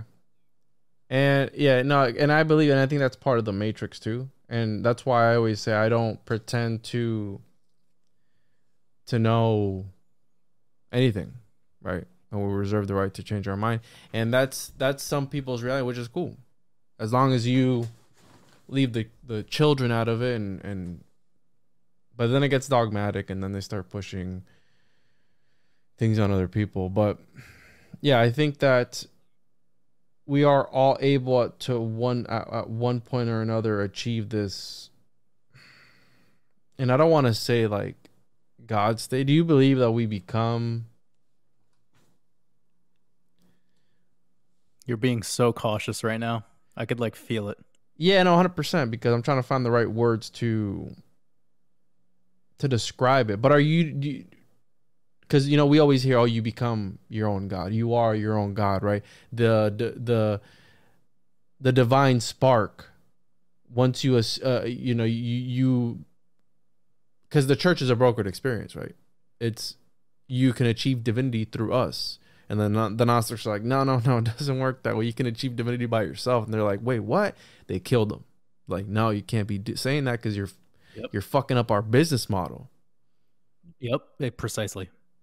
If you're if you're healthy, then you don't need to go to the hospital, Yeah. and that business model fails. so do you think you're able if to you're achieve? spiritually healthy, and you don't need to go to the church hospital.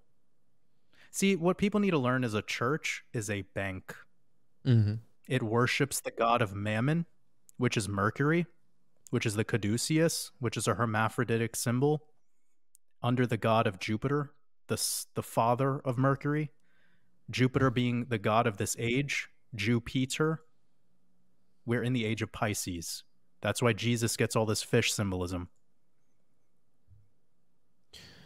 Yeah, and he's yeah he divides. So he, the church isn't the the church doesn't do well if you don't want to go, mm. because banks only prosper if you open loans. and not only that, bro, but it- sell you the money. If you think about the idea that the, the concept that they they have their own pools which they can tap into of energy right they have their own followings of people that they can tap into not only for monetary monetary gain which they can also do that but also that loose energy right by keeping Yes, them that's in the most important thing. hmm exactly Precisely. and that we're not same loose By the way, guys, like we're not we're not talking about just money. We're talking about like prana, like life force Mhm. energy. Like that's really what we're. But yeah, continue. isn't it currency it's the current Currency. of the sea right Yeah. so and that's who Mercury is. Mercury is the prince of the power of the air. Money created out of thin air. Fiat money is not real. Which it's they just do. belief. Yeah. Which they do. Yeah. And we still all have to abide by it. Mhm. So it's the same energy that you're getting with church. It's the same energy that you're getting with the belief that you'll be healed through the hospital. This is all the same parasite. This is all the same cult, and it has the same symbols. Your World Economic Forum, United Nations, your hospitals, World Health Organization, etc. It all uses the same symbols. Your church uses the same symbols. Your priests and pastors and popes and cardinals and bishops all have the same symbols. They all wear the same colors. They all wear the same fucking fish hats. It's all Jupiterian. And this is why people need to wake up to the the the, the truthers that think Satan is Saturn. You don't know what you're talking about. Saturn is for Aquarius, which will get us out of this paperwork privilege bullshit that we're dealing with in this age, which comes back to the oak tree, which is a symbol of Jupiter. Okay? People need to learn their symbols. Satan is not Saturn. Saturn is a sovereign land based law, unlike Admiralty commerce law, which is the bullshit we're under now. That's Jupiterian. I've always said Satan is And. Ju- But it's not. That's It why, is not. That's why I have professionals like you on, bro. Yeah. So the idea of a of a, of a Satan is a thing that has no desire for you to be sovereign, It's an which is different from a Lucifer. Mhm. It's a yes, it's Seth. It it's Set. If you if you want to look at Set or Seth as a thing in the Greco-Roman, it will just be Jupiter or Zeus, the one who overthrows his father. This is a, a mythological story that gets it gets confusing for people because it's all lost in this word salad of you know the etymology. You you got to break it down and connect it to Egypt, and then you'll it'll start to make a lot more sense. But anyways, just to quickly sum it up, the god of this age of Pisces is Jupiter. We know that we're in Pisces, even if you guys want to believe in your religions with Christianity, because we have the Jesus fish, we have all that symbolism. He's the fisher of man. He has can feed people with the fit, whatever. It's all the same fish stories. He says, "I'll be with you until the age," and then he talks about the man bearing a pitcher of water, which is Aquarius.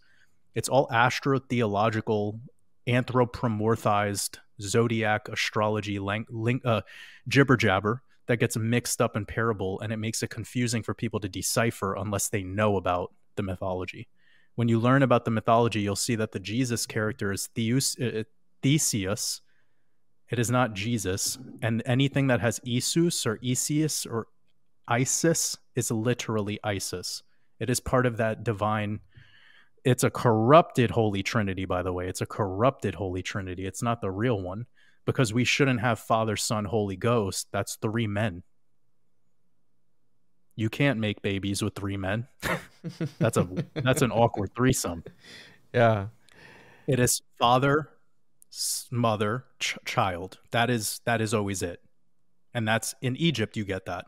But over time, as this Greco-Roman parasite took over the world, Julius Caesar is Jesus Christ, playing himself in a book, putting himself into a book to control people and brainwash them in the age of Pisces. So what's important about this is they've corrupted all of this shit and then made it sound virtuous. Now people feel good about themselves when they say Father, Son, Holy Ghost. Mm. But you're talking out of an it's not even the the organic system. There's nothing biologically organic about this. And they fuck up with the symbols a lot too because they'll show the Holy Spirit as a dove. That dove is Semiramis. That dove is Columbia. It's the Statue of Liberty as we know it. It is going back to Lucifer, who's Eosphorus or Phosphorus or Venus. That's the light bearer. That's why she holds the torch. So, you know, you really start to compile all this together and it it it becomes very clear that Jupiter in this New Testament the Jupiter age that we're in, that's all in the New Testament, has to deal with Satan. And one final thing to mention if you go back into Pompeii or Herculaneum, uh, these parts of South Italy, you'll see that in their ruins, they show you Jupiter, and he has the body of a serpent. Mm. Like a Yaldabaoth type and, of thing, like demiurge type of thing? Exactly. He has wings, and he also wears a crown because that's what he is. He's the king of the gods. Mm. And he has a serpent's body and he molests his own children. All the things that these elites do the, the organ harvesting, cannibalism, uh, having sex with your own uh, with your own children, pedophilia, having sex with animals, which is a thing that's portrayed in Greek pottery, shown to you yeah. all over the place. Mm-hmm. Pedophilia was totally acceptable in yeah. Greek culture back then. and again, if you're Greek or you're a sign of status too. Correct and I, I don't want to offend people if you're Greek or you're born into this nationality, you live there, whatever. I'm not talking about you. I'm talking about the origins of this whole system that we call society and money and law, etc. Because it's all systemic of that culture. All the math that you do, you know, we were going to get into gematria. Well, all the maths that we have, language, all of it, it stems from them, from that culture. That they gave us that stuff, and they left it for us in paperwork, and that's huge when we talk about Jupiter this world we live in today, you know, if you don't have the paperwork, you're not going to be able to travel. That's called a passport. Mm-hmm. If you don't have the paperwork of the social security number, the tax identification number, or the birth certificate, you're not going to be able to get a driver's license, which makes it so that you can't drive, which makes it so you might not be able to get a job, which makes it so you can't get a bank account. So we live in the age of paperwork as the main enslavement system in admiralty maritime commerce law Again, all tied to Jupiter, not Saturn. And perhaps they did that to occult the the true guy or thing, right? To take people's sight away from that one guy that we've been focused on all of history and just right hide the real guy over there. right and make mm-hmm. and, and have him be occulted from the from the limelight. But one of the things that you're talking about etymology, words, grammar, we know grammar comes from grimoire, et cetera, et cetera, all that stuff. I actually heard you say that for the first time, and I, I appreciate you for saying that. Yeah, it comes from grammar. The grammar connection to grimoire. Mm-hmm. I've never heard any other person on YouTube say that, so that that was dope. You're welcome, bro. That's what we're here for. We're here to to drop these nuggets of of truth and and wisdom. And but the that idea that when we speak, right, abracadabra, as I speak, I create, or something along those lines. Mm-hmm. Yep, yep. And when you're spelling, you're casting spells, and be careful what you wish for, and all these things. Well, I, I and it also to link it back to this matrix that we're in. I keep using the word matrix. So I'm going to find another word for it. But this thing that we're in, how these gods and these beings of antiquity are in our own language. They hide in my, my friend Gabe puts it, Slick Dissident, shout out. They hide in our language. What day is it today? Today's Tuesday. Well, I don't know which which god that is, but for example, Thursday, Thursday, or or, or Friday Freya Day. You know what I'm saying? Like all these. You know, you you know the days because you you're you said you're half Puerto Rican, right? Or you're Puerto Rican, so you yeah. know Spanish. So what is what is Tuesday? Mars Day. Spanish. Yeah, Mars Day. Right, Martes. So Mars, and Wednesday's miércoles. So yeah. Mercury. Oh, okay. Oh, Thursday, shit. Jueves, Jupiter. Damn. Friday, Viernes, Venus. Sábado, Saturn.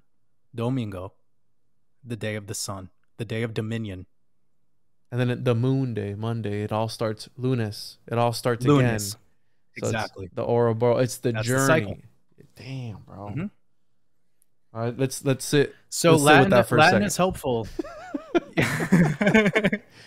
That was dope. That was dope. yeah, Latin is Latin is helpful. Um, and I do the same thing all the time. Like when you start getting into these word spells and then uh, the prefixes, suffixes, going back to Greek and, and Rome and Latin origins, as well as the connection to your body, actually knowing like which planets are your fingers, like each is dedicated to the finger. We we typically see the association with the chakras in these planets, etc. And nobody could tell me that the Greek and Roman mythology is, is horseshit because the indoctrination of well let's just look at nasa. They're naming these planets after these fucking greek and roman deities. Hmm are they doing that just because they they're having fun with us? No. They're doing this because this is the way it is Did this I is send all you? part of like the Did I send you? No, I don't think I did. I did an episode recently. Speaking of celestial bodies, I know some people think that they're holographic projections. Whatever, more power to you. But Yeah. I, I did this episode because you're you're you're, t- you're touching on a subject that I I believe ties into alchemy. I believe ties into this reality that we were experiencing and the way that the elite experience it. And I think that immortality is a real thing, but not the way we've been taught. And if you notice how you're saying by giving by us powering that egregore, that Dyson sphere, that whatever thing at the, the this this endless motion machine that will forever be powered by we don't know what by these thought experiments by us Mhm. forever venerating these gods of antiquity because some people still worship them so these are some people's gods even till today by them Yeah. being put in the but we line- all worship friday right when we, We say love that God- shit. like thank god it's friday or like you know we love that we don't shit even know we're doing it but we're doing it exactly But by us continue. powering that egregore, that thought form, or that tulpa, whatever it may be, we are keeping them alive. We're keeping them alive in our language, and for a very long time, right? They're gonna forever because we're always gonna use language. But have you noticed that the craters on the moon, a lot of minds of antiquity have names on the craters of the moon. And I think mm-hmm. that's part of the alchemical process. They all have these busts and these these statues attributed to them. Well, if we look at the ancient Egyptians and how they would destroy statues, you know, chop their noses off, chop their arms off. Some people say, "Oh, it's because you know they didn't want to show that they were black." Some other people say it was like, "Oh, well, they were doing." No, no, I'm not talking about that. I'm talking about the idea that they were wanting to suffocate that statue because Yep. they believe that that entity, that that deity was in that statue. And if you look at the opening of the mouth ritual of the funerary processes of the Egyptians, they would quite literally reanimate the dead. They would invoke these entities and these spirits into these statues. So the, to these people, these statues were real. Now, if that's an actual thing or not, I don't know, but they were. The Bible says, you know, be careful of idols that need to be carried. This is what it was talking about. I was talking about these, like Baphomet, right, on the subject of Saturn and Kronos and Yep. uh, the talking head, the head that would prophesize to the Knights Templar. And it's how you're saying we're in the age of paperwork and all these things. Well, what did the Knights Templar create? The Chet, the Chet system, right? This, this, I think that's the name of it. The Chet, where it's like the card. You present the card, and then they figured out like, hey, wait a minute, we can actually leverage this money that people are giving. Nobody's checking to see how much money they have. Let's go ahead and loan it out on and charge interest for it. And as long as we don't have everybody check all their money out at the same time, we can keep this scam going and make money off of other people's money. And boom, Yep. the modern day banking system was created. That is the primal, yeah, that is the primal focus, or the primary, excuse me, the primary focus of this age. It's what you're talking about creating a fiat money system, money out of thin air. And how you were talking about in your last video, everybody's dude. I, I used to. I mean, bro, I've been a bunch of money on on crypto, Ethereum. I had a bunch of Ethereum. Mm-hmm. Okay, I had a bunch of Ethereum. I made a bunch of money. I lost a bunch of money too. I can show you the screenshots of both the money I made and the money I lost, and it was addicting. But I learned TA. I was doing all that. I had I have five screens. I had two at all times with the charts, stock mm-hmm. market during the day, crypto market on the weekends, right? Because it always runs on the weekends, right? So I was making a whole bunch of money for I, I stopped podcasting for like seven months and I was just focusing on on TA. I was teaching people TA. I was doing all that stuff. And then obviously started to come down. I still have some Cardano. I still have a couple of Ethereum. And now it's it's mm-hmm. popping a little bit again. But this idea of being addicted to that, being addicted yeah. and, and being addicted to the it's the alchemical process, making something out of nothing but not quite nothing. Yep. You still need to have something, but you want to multiply it. And you just sit here mm-hmm. in front of our scrying mirrors and we're addicted to watching the charts. We're addicted to looking at everything. And you're addicted to the stimulus that it gives to you. Like it's like it's cheap dopamine. I get it. I talk about this so often because I think it's a thing that we all need to admit to. And once we can admit that's a big part of the enlightenment process, I call it the great admission it's just to be vulnerable and to say, like, okay, I'm addicted to looking at these charts. I'm addicted to the emotion. I have an emotional uh, tie to this market, even though this market doesn't give a shit about my emotions. So you just have to admit it. It's like getting off of any drug. And once you can do that, and once you can be strong and, you know, reassess, build a better plan, and have this play rather than the game playing you, you play the game. Um, yeah, you take back control of it all and it starts to become harmonious again. But I think the way that crypto and all speculative assets are sold onto people is in a typical fashion of how religion is sold onto people or how gurus are sold onto people. It's that this person or this, we'll talk crypto, this coin or this asset class will make you rich or you will make money.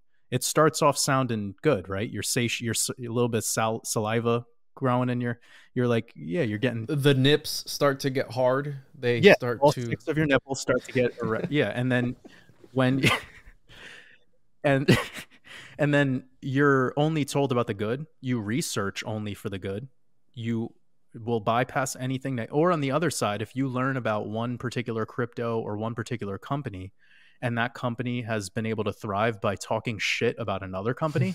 you know, we have this whole Apple Samsung thing or Bitcoin Ethereum or the XRP army who doesn't like the other and all of this, it's all cult like behavior. And because I studied cults uh, for over a decade before I even got into finances and I got into really being a decoder, I had all the machinations and foundations of protection so that whatever moves I make in the future, I'm not getting caught up in that cult like worship system where I'm giving it all my prana and now it's just I'm enslaved to it. I didn't want to be that person that was staring at charts for 16 fucking hours straight with I I can't influence them. So I believe that dude, this what we're talking about right now is essential. It's a core part of like my philosophy and what I always practice. Creation is everything so my main mechanism to jump out of this trap is to go play guitar, go make music, go decode, go work on something. Like I just keep myself busy with my own essence that I already have within me and I try to not just be hyp- hypnotized by whatever's going on outside of me. And that I very much felt that when I got into crypto, what you just exposed, I went through it too, brother. I where we've all been there. Yeah, it's, um, it's people that addictive. get into research do it too research is very addicting where it takes over you consumes you i, I yep. think i heard you talking about that uh, one time as well and i appreciate i think dude those are the conversations that we all need to have those are so much more valuable than just the the mental masturbation of whatever information we find because we have more than enough information already. Now let's learn how to utilize it. Let's learn how to be balanced with it. Let's learn how to be empowered by it. Let's learn how to make it our bitch instead of the other way around. Take all of these symbols and invert them, have it be powered, have use it back at them, use it back at these so-called elites. All of this stuff. Like this awareness should set you free. It should empower you. It should not make you depressed. It should not make you anxious and it should not make you addicted to cheap dopamine. That's not what it's here for, guys. That's not alchemy. That's not you being the magician. That's you just being walking from one system of control and stepping right into a new one. And guess who took the steps? You. Yeah. Bill Gates didn't push you to it. The Pope didn't push you to it. You can make fun of Klaus Schwab all day. But you were the one who decided to take on this addiction to the cheap dopamine. And I know a lot of us really struggle with breaking free from it. But when I started focusing my work on talking about this, specifically in my live streams, that was the biggest breakthrough I was getting with not only myself by just being able to exercise being vulnerable and talking about how I've been here, I've done it, but also getting to talk about my audience. It's really allowed us to feel so much more comfortable, and then it gives us back our energy because now we could focus towards creation, could focus on making shit, taking action, creating businesses, you know, just transmutation, bro. Mm. Like and you want to take all this beautiful uh, and convert it into something. And I appreciate you too because I was listening to your show the other day and you were like, you don't need to learn more stuff today. And here I am like, yeah, dude, but I, I gotta get this episode out, bro. You know what I'm saying? Like I'm listening to him like, but waters above. I'm on I'm in the middle of research for an ep. I promise you that when I'm done, I'm gonna stop. Right. And you and the, from that episode, I always keep that in my mind. Like I don't need to read another book today but how you're saying it's so addictive and really i mean well, no bro what i what i i think that you researching where you're thirsty for it where it's like it's fulfilling you it's it's your purpose then. So please i want everyone to know like i'm not saying that anybody's failing by going deep into the trenches with their with their work or study or research or what they're passionate about. I think it's a beautiful thing that you're inclined to get involved in something. All i'm saying is that see where it creates an Im- uh, imbalance don't let it overcome you is what you're getting at. Yeah. Uh, my last thing I'll say is uh, coming back to the crypto thing and the chart staring is I have people that are like a father of three with a wife and they're fucking on the verge of divorce. Their kids barely have any connection with them because they're sitting there day like looking at the crypto market because this is 24 7, 365 and never pauses.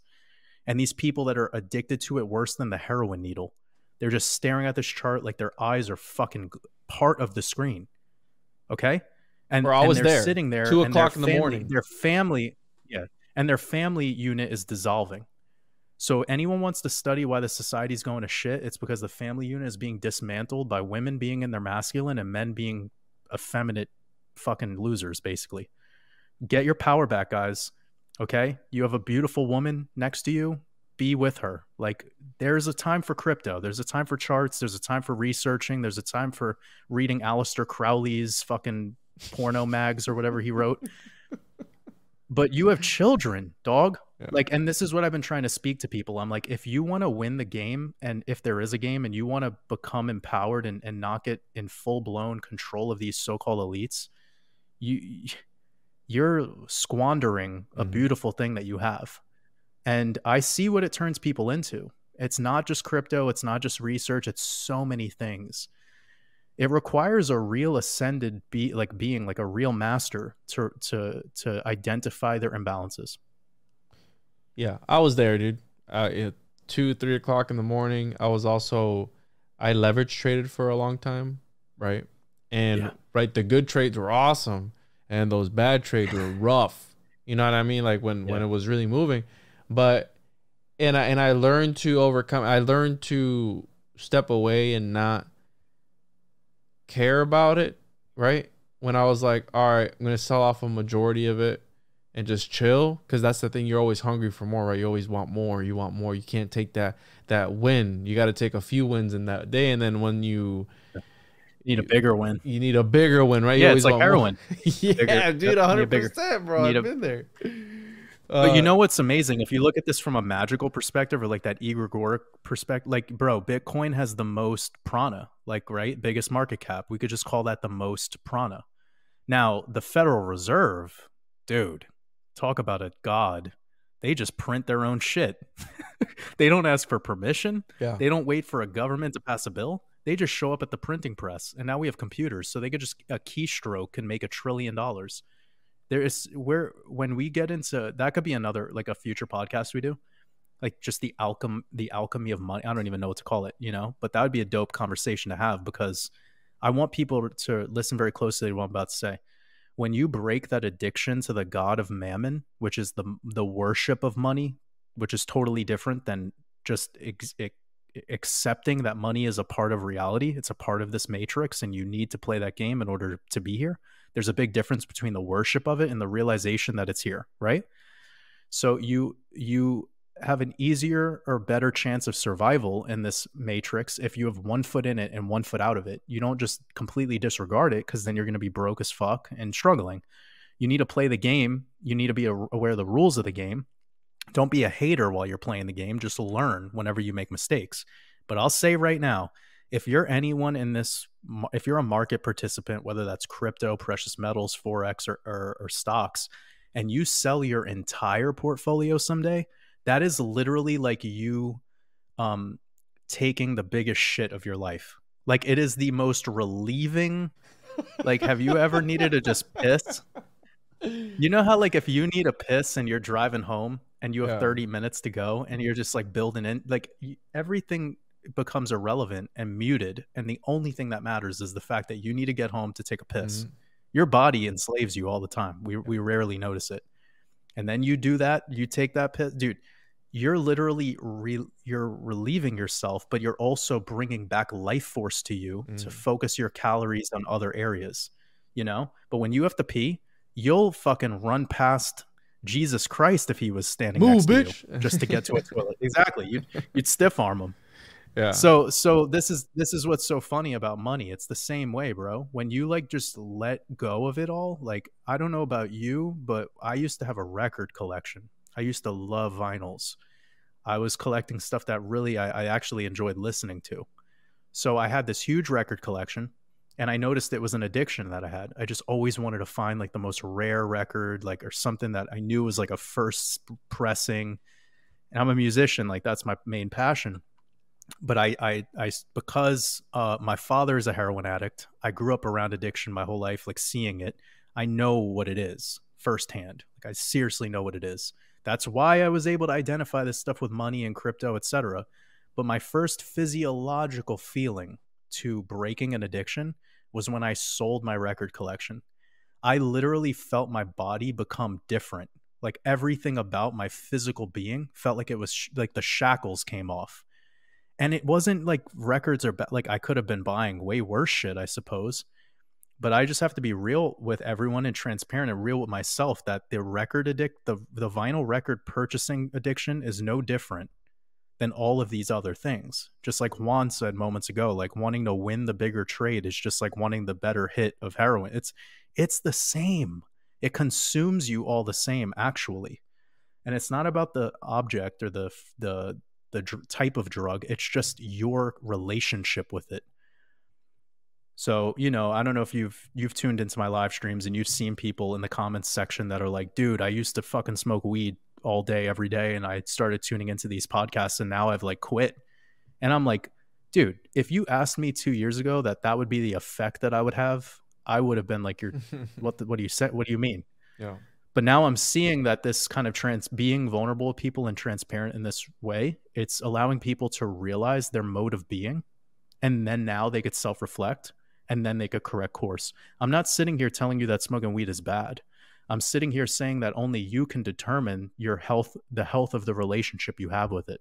The same thing goes for your wife, your with the relationship you have with your children, the relationship you have with your friends. If you have five close friends and four of them are just drunks who are going to strip clubs every night, blowing all their money, and they don't really have any core values, well, guess what? you take on the energy of those beings. You become that. And if you feel like you want to advance in life, well, you're going to have to find four or five people that are at a higher level than yeah. you. They, you have to be mentored by them, and then you'll graduate with them, right? And it's very rare you see people who are completely uh, on a different frequency than the friend group they have. Or you could just be the hermit, go on that go on that hermituitous path. That might be what's necessary for you right now. I know plenty of people that they have a bunch of fake friends. They have a bunch of just player characters in their life that have no value. They're just there to take up some time and some space, drinking buddies, if you will. And they're an enlightened being. And they could tell that being around these people, it's just dead weight. You know, sometimes you have to go reassess and take an inventory of the player characters in your life and cut the dead weight if you want to grow, if you want to advance. Yeah, you're you always get so heavy waters. You make people really listening right now, man. Fuck this guy. I don't want to self reflect. Who wants to self reflect? I'm not gonna cut the baggage out. But yeah, I think that it's it's necessary to have these conversations because we get lost in the sauce when it comes to a lot of these these theories and it's yeah, it's cool, it's awesome, but this is a reality. We're also people, right? I'm the same guy on this podcast than I am in the real world, right? I, I, I don't change, I don't do anything. But yeah, it, learn to identify your strengths, your weaknesses, what needs to be cut out, and cut it out. And yeah, dude, I've I remember I was vaping for a while. Never smoked cigarettes, but I was vaping for a while, and it took it, it was kind of it was hard for me to stop. It was really hard until I just, dude, I went cold turkey. I was just like, I was vaping to the point where like my chest would hurt, bro. And I'm like, damn. Yeah. And then you still hit it even while your chest is hurt. I'm like, I don't want to do this anymore. But it's like this thing, it's, it's automatic. And then I just cut it out, bro. 100%. Just like flat out.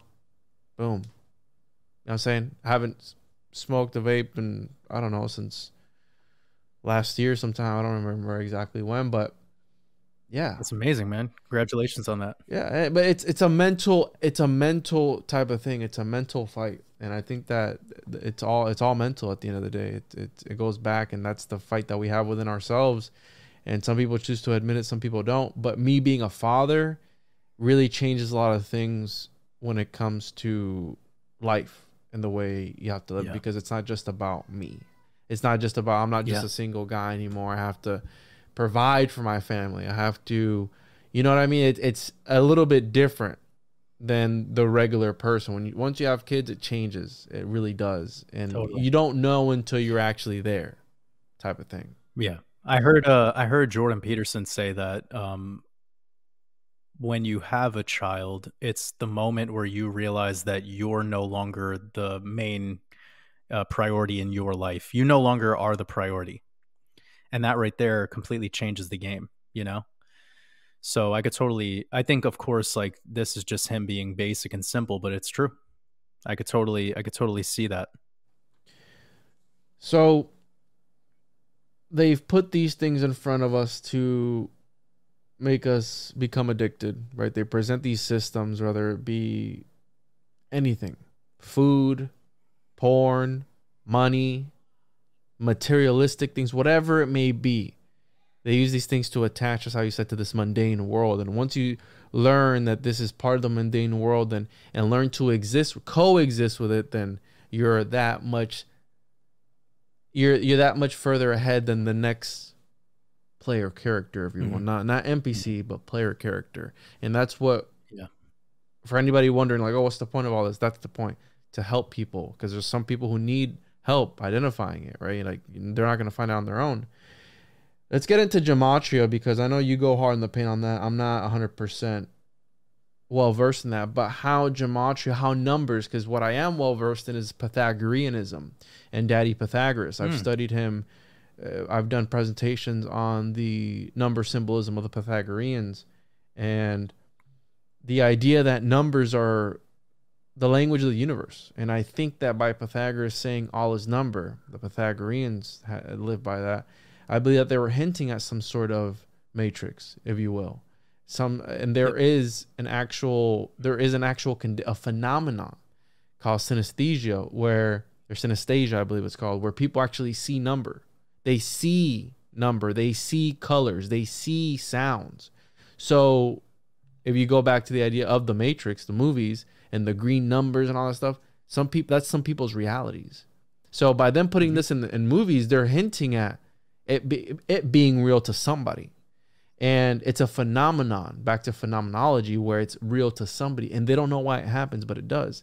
And the idea that numbers are a language, perhaps to another to other entities, I don't know. I don't know if you want to go there, but can you break down the relation of reality with numbers for us? How the Pythagoreans believe so? Well, I, I, haven't studied much into the Pythagorean side of things, so that's awesome that you have. Um, so maybe you could fill in after I say what I'm about to say. But to me, math is just Mother Nature expressed in symbols.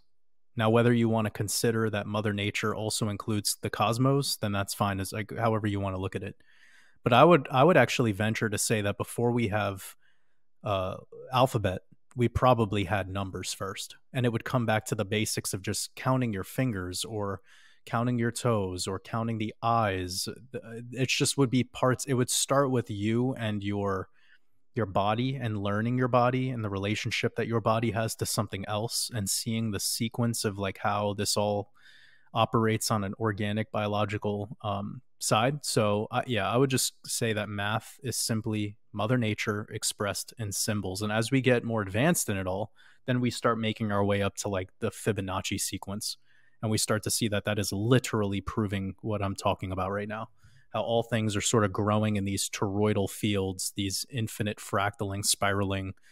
That is the energy uh, force that pushes out and continues uh, just like our bodies do as they age. You know, they start out small seedling to this full blown, you know, at its peak, and then it starts to rot and decay. Um, and then what do we call that? Like, what do we start to um, title those things as? Well, then you could even get into the mythology. You break down stages of life, then you have age, or that's where chronos or chronology or, or timekeeping comes into play. Or you could bring that back to sun worship as well, creating sundials, keeping track of stuff. I think that would have a lot more value than an alphabet because uh, we're not designed to actually write. We're not really like it's not really in our best interest. Like we're not really good at reading or writing. That's not our natural flow state. Our natural flow state is creating sounds and dancing or moving that would be a much more natural flow state. It goes against our flow state to actually sit down, write shit down, and compile information in books. It breaks our prana or our chi. But if we dance, we have sex, we talk, we laugh, we roll around, we play sports, etc. That's our natural flow state as humans and all nature. Hence why we're the only being that is got to this place where we're sitting around writing shit down and creating skyscrapers and all the other things. Like we're not even animals. We're we're like our own type of species. So it's in the creation of maths, it would make sense that eventually gets a language, and then when you have the two, then you get Greek isopsephy or you get Hebrew gematria, and that's kind of the origins of that's like the story here. I suppose it's been coded in back then, those were much more sophisticated uh, systems. What we have today with English is definitely a more interesting uh, conversation because that's built almost in spells and almost in creating severing of energy and having people know definitions but not know meanings. Having people know definitions but not know symbols. So we go back to the hebrew and like each letter has a numerical value as well as each letter has a meaning you go to English, and that's not the case. It's just the most plagiarized form, uh, getting to something that has it's meaningless on the micro, and all we're looking at it for is its definition. And then we have it getting complex with grammar and the writing, whether it be cursive or lowercase, uppercase, etc. Like it starts getting wonky. So that was where my interest came into play and that was how I how I perceived it all to make sense of it and I think the creation story that we get in all of the mythologies as well as in the Bible etc it's playing on that similar kind of it's playing in a similar thing where before we had language we had numbers. We had observation we had numbers 1 through 9 and then we started to develop language later so I guess to answer this, gematria numerology is very advanced. It would only be something of a, a of a highly advanced mind that would want to start creating all of this specifically to hide secrets within the words and hide these alphanumerical phrases because the public is only being taught definitions the public is the the collective is only being taught the the words from a perspective of their outcome not really on their origin I love that, dude. No, knowing definitions but not knowing the meanings. So you know what it means, but you don't know what it means. I'm trying to yep. find the timestamp, but you said that that's gonna be a clip. That that shit went hard, bro.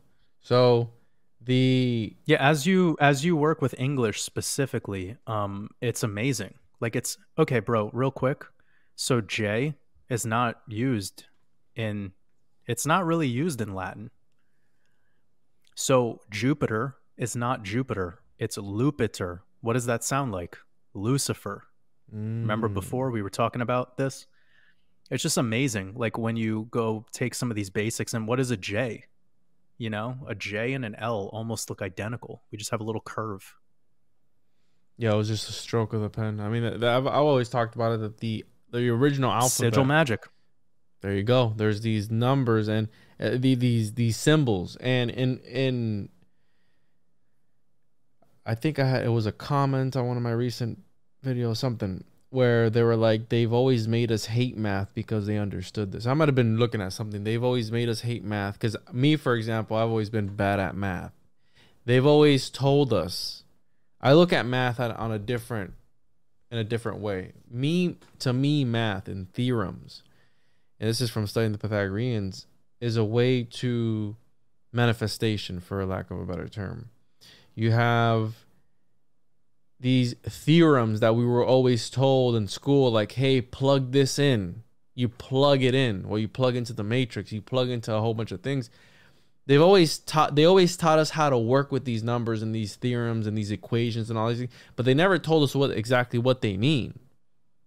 Yeah. Find x okay you found x but what does that mean they they would never tell you what it meant right? They never told you what it meant. Well, find you know the square root of whatever. Well, what does that mean? They were never going to tell you. And then they wait. They wait so long to get it, get you an advanced math. They like call it like advanced algebra or fucking calculus, and then they start teaching you about this stuff. But even then, they cloak it all in a complexity yeah. where it has nothing to do with its origins. So the origins are everything. Like when you get into the X, which could be pronounced in Greek as he, could also be pronounced as she this is why if you looked at any letter and you wanted to call it the mark or any symbol and you wanted to call it the mark of the beast, it would be the X. Mm-hmm. It's the he she, it's the hermaphrodite. It's again, they what does the caduceus look like? It has the two serpents crossing each other. That's the X's.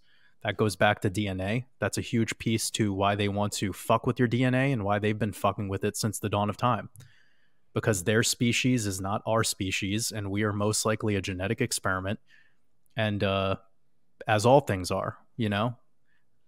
And it's pretty easy to prove because we do it all the time today. If you look at, but the, those are the meanings, you know.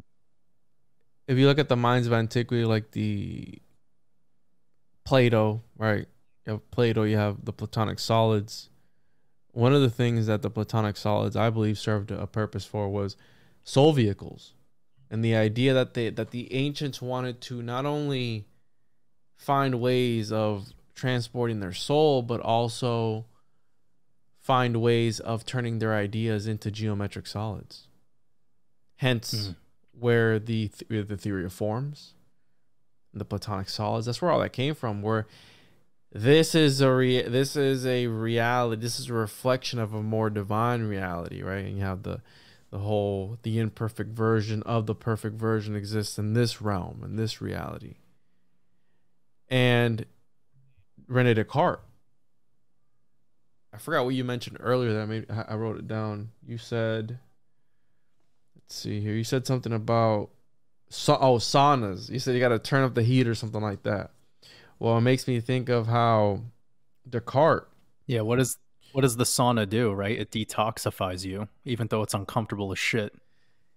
Descartes turned his rooms into saunas, right, and he was able to think clearer in in this yep. in these rooms. And because it evokes this creative essence out of you. It makes you uncomfortable therefore it challenges the mind therefore it creates unique thoughts. Or not not that thoughts are unique. They're we're all being influenced but you know what i'm saying. And this plays into what i was going to say earlier about the episode that I, i'll send it to you. It's an episode i did on some crazy shit. And it's about it involves descartes okay. and how him being sleeping in these rooms, in, in this these sauna rooms, right? He would fall asleep, led him Fuck. to have this series of dreams. And according yeah. to him, according well, according to his story, he had the the he had discovered he had a breakthrough and discovered a new science being the Cartesian coordinate system which if you look at the Cartesian coordinate system, it serves as a sort of talisman for manifestation.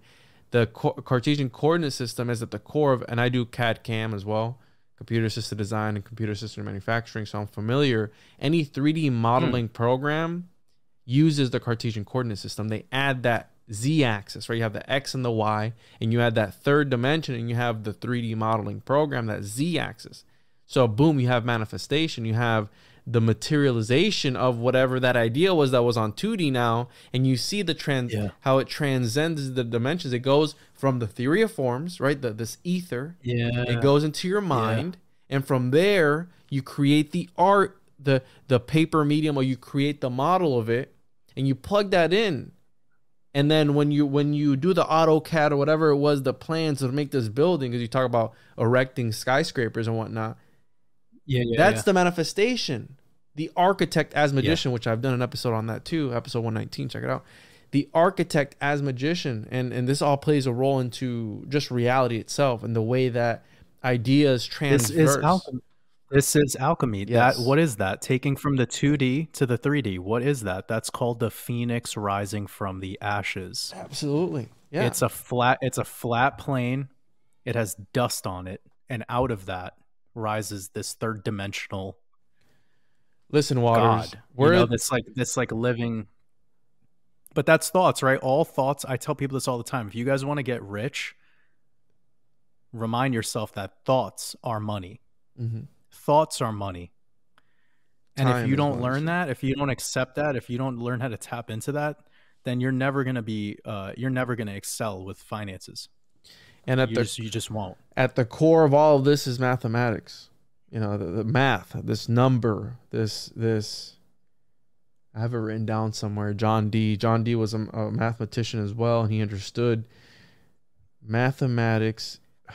Man, I have it written down somewhere. I'll, I'll have to find it because it's a dope ass. It's a dope ass quote.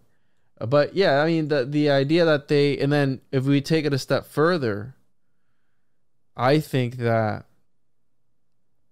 these elites understand by embedding the mathematics into because you said gematria was more like like cryptic cipheric type of thing where they're able to hide messages within messages right but what about Precisely. That's where it comes like with the true Hebrew gematria, what the whole purpose was was to reveal that Mhm. there's a mystic quality to the number connections through separate different words with different meanings. So for instance, if I was to type out the word podcast and come up with its numerical value and I found out that I'll just quickly type it into a gematria calculator so I have something to work with. So if I type in the word podcast, it equals 78 in English gematria, meaning we're using the English language and A equals 1, B equals 2, C equals 3, all the way to Z, okay? It comes up with the number 78. So if I was to type in another word that had exactly the value of 78 in the same cipher, even though it was a totally different word, had no connection correlation to this word podcast, the the rabbis or these high priests of this order, um, Kabbalists, they see a relationship between it all. And that relationship, I suppose, would be more of an etheric or spiritual connection. Um, so this is really going back to how things are connected, um, even though they might seem totally different in nature or by definition, but the deeper meaning behind it all or the origins of it all are going back. It's another layer to add onto it of complexity, but it's a ancient system and the Chaldeans are involved in it. I know there's different forms of, of what we call gematria in every ancient civilization because once they had letters and numbers, they started doing this naturally. It was a natural way of coding, and what I suppose would be the origins of how mystery schools operate in the lower uh, entry in the initiate levels. Meaning, the the uh, the elect, like the the higher orders, would know about gematria. They would know about this coding system, and they would use it in front of these uh, initi- uh, initiates with with no worry because they don't even need to hide anything. That's how fucking confusing and complex it is. You feel me? The, this has a lot to do with the even in the Bible they talk about how Satan was cast to be mute and and had no voice, had no ability to speak. Okay, people got to think about this. This is not this is not isolated to Christianity. This is going across the board. The beast or whatever this this uh this negative character, the one who goes against the hero, this this force, this force of darkness, it was voiceless. And you see in Freemasonry, they're always throwing up like the sh, you know, like covering their lips, and they're using all these hand symbols. Well, guess what? They're also using gematria. That's a big part of it all. So symbols, hand symbols, or mudras, and then you have eye winking ways of playing with your face. Like you see umpires in, in, in baseball, they're all using the face, they're putting their finger under their nose and covering one eye. This is all sim they're talking in, in, in this code language. Baseball is just a Freemasonic sport. You're on the diamond. It's all showing you right there what they're about, right? So, anyways, my point here is that these hand symbols, the gematria, all of it, it is to have this kryptos this hidden occult knowledge for the elect and then the profane would just be speaking in english eh, or their their own language. Um I hope that makes sense. No but this way absolutely. they could get away with they could get away with it all without actually hiding shit revelation of, right in plain sight. Revelation of method t- type of thing where it's here and that's what i tell people all the time. It's like yeah you don't understand it they're not they're not talking to you, bro. you know what I'm saying? They're talking to their their their homies that are in the circle. You're out of it. And how what was that one comedian said it's a big club you ain't you ain't a part of it George Carlin yeah so I, I, I was no that's that's it like that's why when you start to decode the symbols and everything you just got to see it for what it is it's like if you spoke chinese and you were with somebody who um also spoke you had a friend that was chinese and you were in a situation where you wanted to keep yourself protected from somebody else who who spoke that your same language and you guys had your own secret code language that would be the time you would use it. You would use it for your survival. Well guess what? These elites are highly outnumbered. They're like 0.0001% of the world's population. We are the po- we are the elite actually. We outnumber them substantially but yet they fucking control us. And the reason they're able to is through this language they have and through their bloodline. And their bloodline learned that if you want to make sure that this goes smoothly for them, you put humans into this externalized belief system and it changes with the ages. So we talked a little bit earlier. Uh, we were talking about getting rid of some symbols of age of the age. Mm-hmm. Well, this is spoken about in the transition of the New Testament or the Old Testament into the New Testament.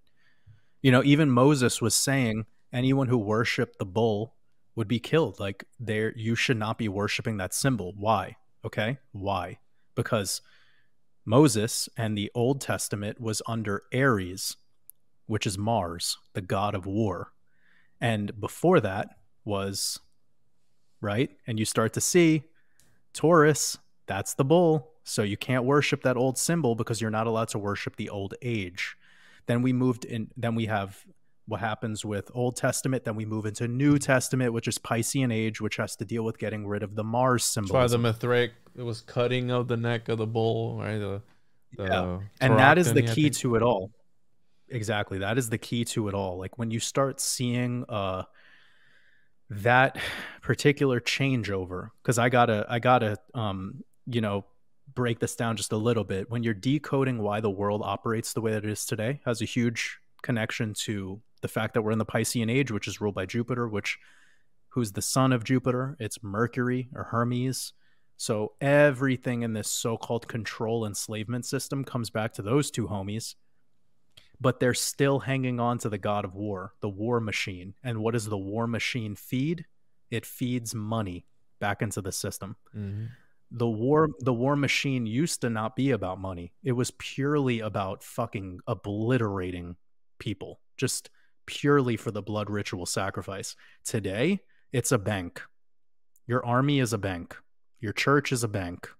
It's all for Mercury. But they did get rid of the symbols of that age. And this is tied into your sports, it's tied into Hollywood, it's tied into all of it.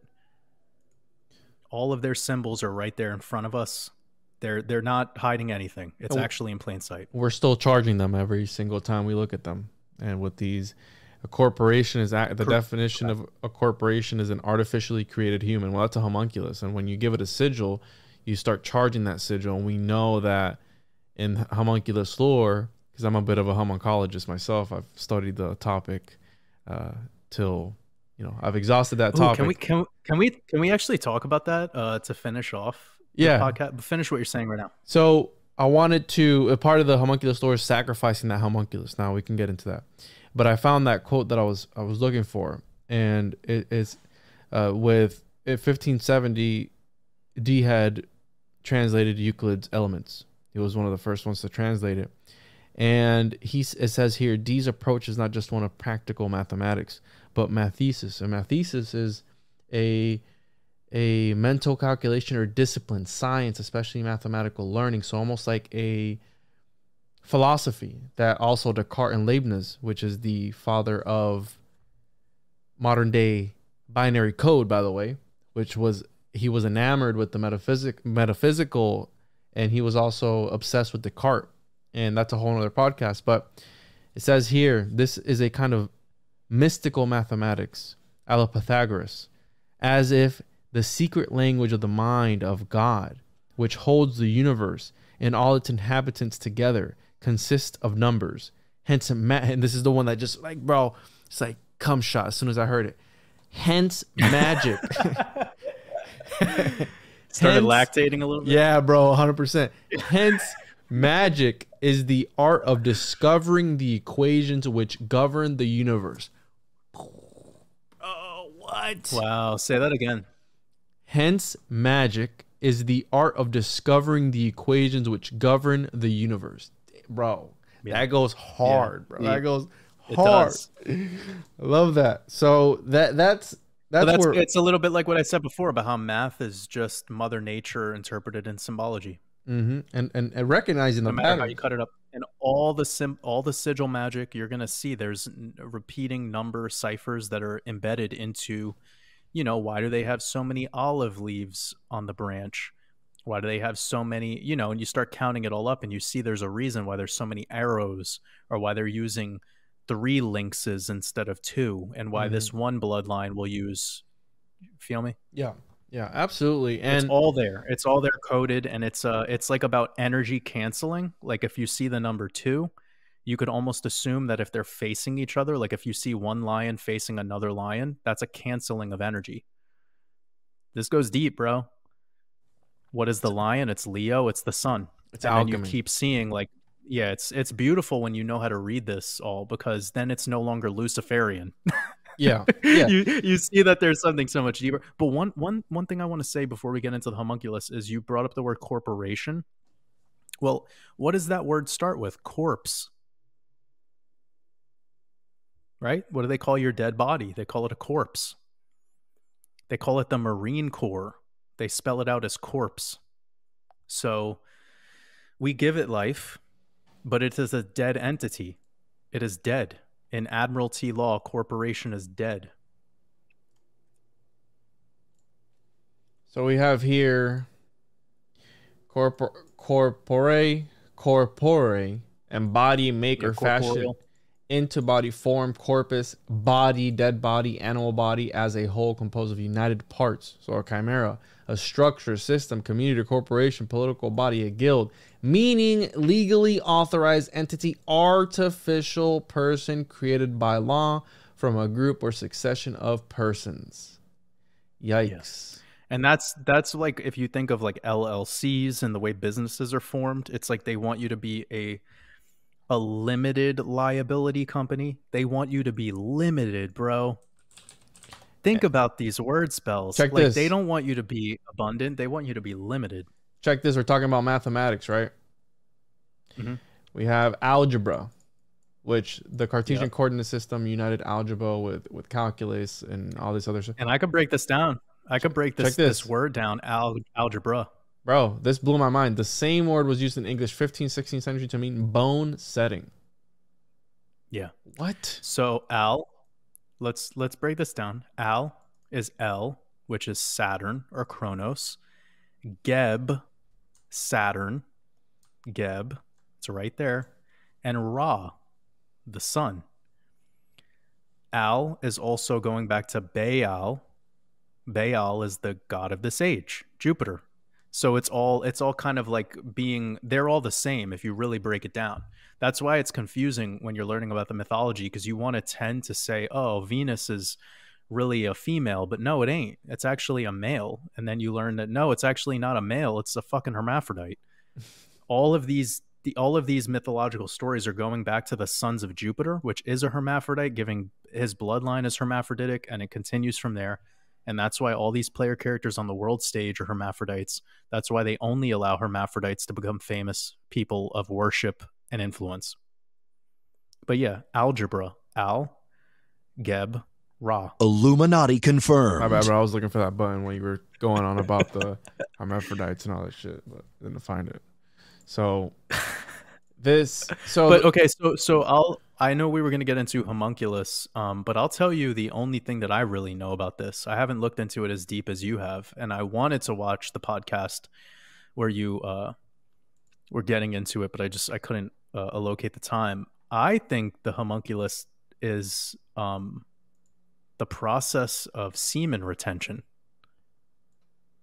I think that actually plays a huge role into it. Like by not having, by not going through that, it's a stupid way of putting it, but you know, like we're, we're so conditioned today in this world of being in our lower chakras and so like sexually charged.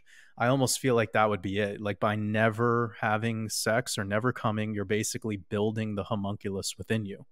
And it's almost like that's the, that could also be what the womb is. But what's your take on it? Because I'm sure your take on it is more like the alchemical side, um, where perhaps it comes back into the uh, the I would assume the basics of it, which is to make a person out in a laboratory setting.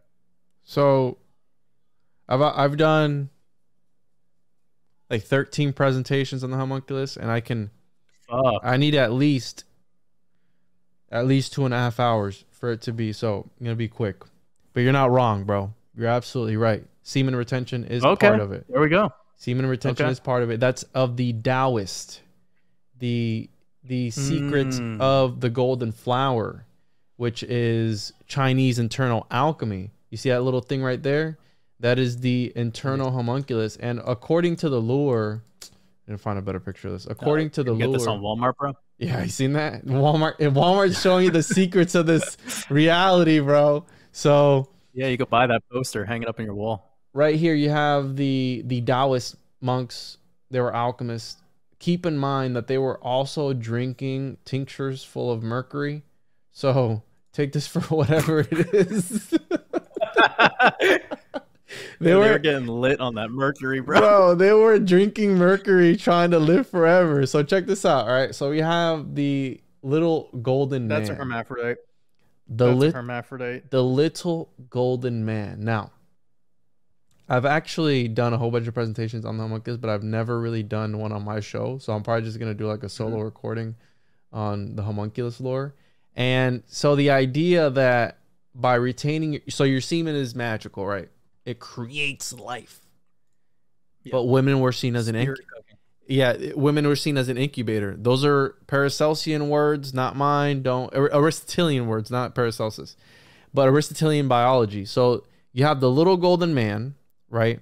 You retain your semen, and and this guy would meditate for a hundred days.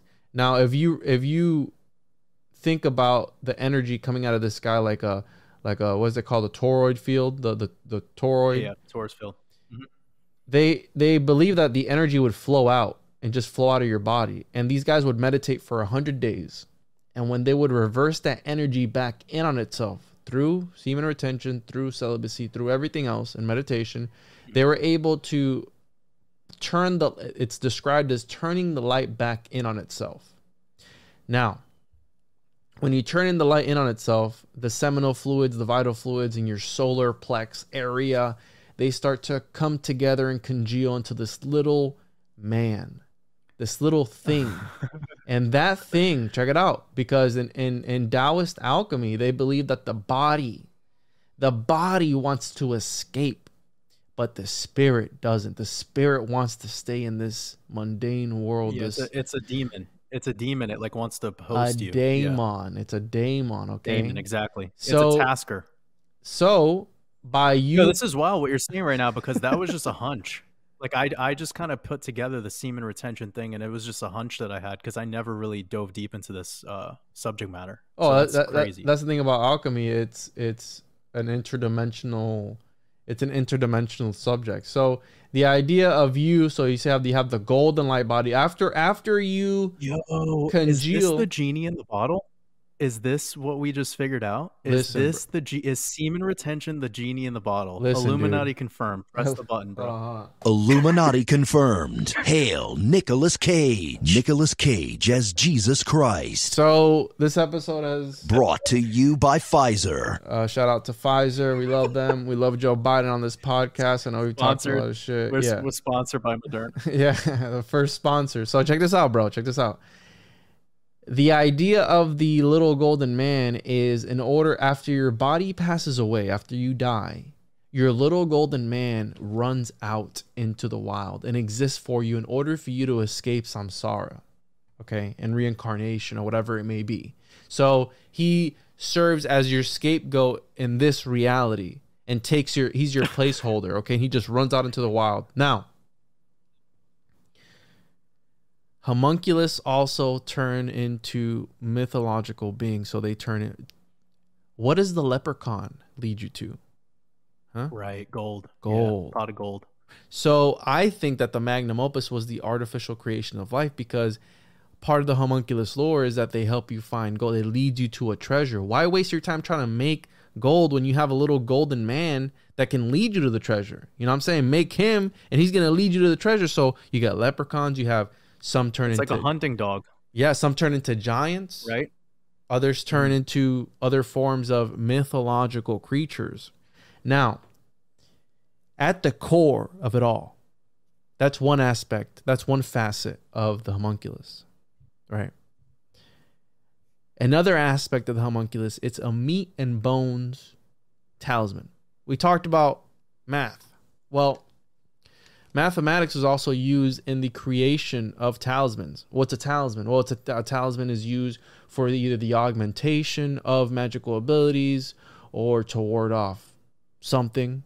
But why was math used in, in the creation of a talisman? Well, it was used because they needed to calculate the space, uh, uh, the the alignment of the celestial bodies in space. It needed to be done at a certain time of day or certain time of night a certain time of the month. So time is also mathematics. You use mathematics to calculate how you were saying to count to a whole bunch of different things. So talismans, a homunculus is a meat and bones talisman. It's Crowley wrote about this in the early 1900s. Mm-hmm. He wrote about how to create a homunculus. Uh, James Shelby Downard talked about how they try to make create a radioactive homunculus at the Trinity site when they exploded the the first atomic bomb, and then you have the whole the whole Oppenheimer quoting the Bhagavad Gita, and he's like, you know, have now become the destroyer of worlds. So you have that weird right. metaphysical connection there. But he thought that the, in this jumbo, this the gumbo, the big huge cylinder there, they were trying to create a homunculus. Now, in the I think in the show Twin Peaks, the demon comes when they when they set off the atomic bomb or some shit. So that's like kind of hinting at sort of like this thing where and I had this guy send me something on Twitter actually or yeah, somebody tagged me on it on Twitter, and it was after I was on Tinfoil Hat because everybody was going crazy for the homunculus after that. And I'm gonna pull it up here real quick because it's really eerily similar to how I believe that they're still using alchemy in in today's terms, uh, and they just call it you know science, trust the science or trust the seance, if you will. And let's see here show this this is this is making me think about a lot of things because obviously through my study of mythology i bring it back to egypt as far as i could really go. And you know the story of ra talking about how he created with his tears and his sweat. Yes all the time. And then with the story of atum it's talking about the creation through spitting uh, or the spit could also be not only saliva but semen and it talks there's an, another popular creation myth with Atum talking about masturbation. And mm-hmm.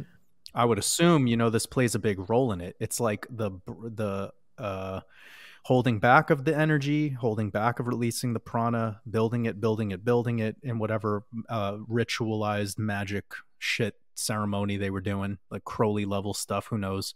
But then the release of this energy, like you don't even need to have a woman. You don't even need to have Mhm. uh, actual uh, sex. You could be doing this in a way of where just the man himself, bro. This is like wild. It's a wild fucking concept. Yeah. No, and, and remember the part of the magnum opus, when you're able to do this, the light emitted from that restructures your DNA and you're able to step outside of reality.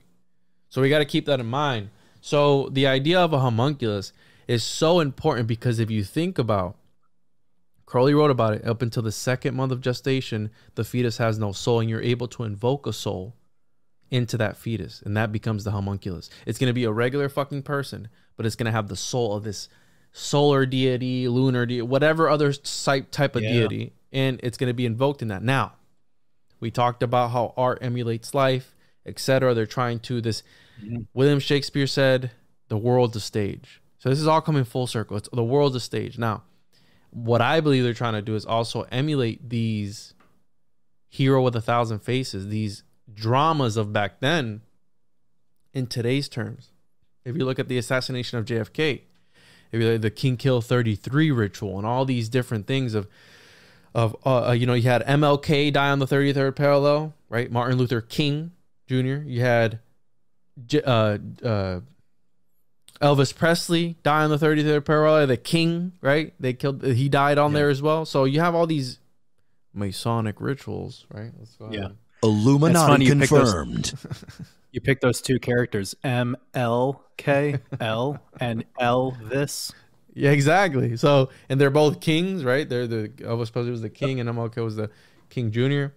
But Yeah, the- it's just Saturnian. But but but what you're bringing up now, it also comes full circle to what we spoke on earlier about this tear, this human-sized Nephilim that I do not believe has sex and makes babies the same way we do. exactly. So, bro, like I do think that there is a possibility that some of them could get pregnant because hermaphrodites can have a period and be pregnant and have a penis. That's fact. So there's obviously, but I don't know if they could not. I would assume a very very small percentage of them could have a vaginal birth. There's probably a cesarean. It doesn't matter. to be involved in. Or, because they that's why all these elites have surrogates and they they have somebody Bro, else get so this- pregnant. Yeah, and this fucking story that this homunculus conversation is now adding an, another layer to just wow. and think dope. about I'm we're talking about this. how they use dates. They do cesarean, so the baby is born on this exact alignment at this is- exact time. So that plays a role into turning that person into a talisman. Into now, if that talisman is sacrificed or not, but part of the homunculus story, part of the sigil magic. What is the at the core of sigil magic of chaos magic. You need to burn the sigil for it to work. You need to destroy that sigil. So when people are laughing and cheering on about the georgia guidestones i go no you stupid fucks. They're sealing the Right. deal. They destroyed the sigil. Now you're gonna charge it at this one point and you're gonna forget about it. And what's part of sex magic and all these other occult rituals? You bring it up into the the the sub, subconscious. It's imprinted in the subconscious. It goes back in and you're supposed to what forget about it. For what? So that the universe or whatever this organic thing that's going on right now manifests it. So instead of celebrating you go you by me being a decoder i go no. They destroyed the balloon in the sky. You're happy about that? No they just sealed the deal bro. And they had your energy since the beginning of it because you were all about it on instagram tiktok twitter and everything. And uh, you were charging the sigil bro and now they destroyed it and now they're going to feed you this next thing and you're going to completely forget about the other thing. It's an occult ritual that they were doing with you right? So Yep. boom here we are. They're hacking the matrix and the homunculus plays a vital role into this because think about it. If you're able to invoke and replay these dramas of antiquity that they used back then to God knows what, right? The the Eleusinian mysteries, we just we still don't know what they were doing there. The Orphic mysteries, we still don't know what they were doing there. Part I think part of it was LARPing, right? Live action role playing and reenacting. no, seriously, bro, and reenacting. 'cause Yeah, yeah, yeah, what are the what are the rites and rituals that secret societies do? They recite and they do all these things with their little swords and bro, Come on, Yep. dude. I mean, it's all. It's part like of it. a kickoff in football. A kickoff in football where they kick the ball and then they catch it, and now it's two teams running into each other. Like, yeah, dude. yeah, dude. Like, if they could, if they could figure out a way to eh, create entertainment out of the war ritual reenactment, then they're getting your prana. But we we brought up some like really sick topics just like in the last couple of of moments, um, and it's stuff that I talk about all the time. Like, think about that Chinese spy balloon thing. It took me a couple minutes to decode what was going on there. Like, first of all, it's a just the word balloon. It is Baal and Loon, which is Luna. So you have the divine masculine, divine feminine. That's all polarities. But they made it look like a moon. Like it looked like a moon in the sky. Basically, just looked like a a, full fucking moon, and egg, it was bro. around. and it was around a full moon that they did it. The recent full moon just a couple days ago. And ch- people need to see the word spell with China.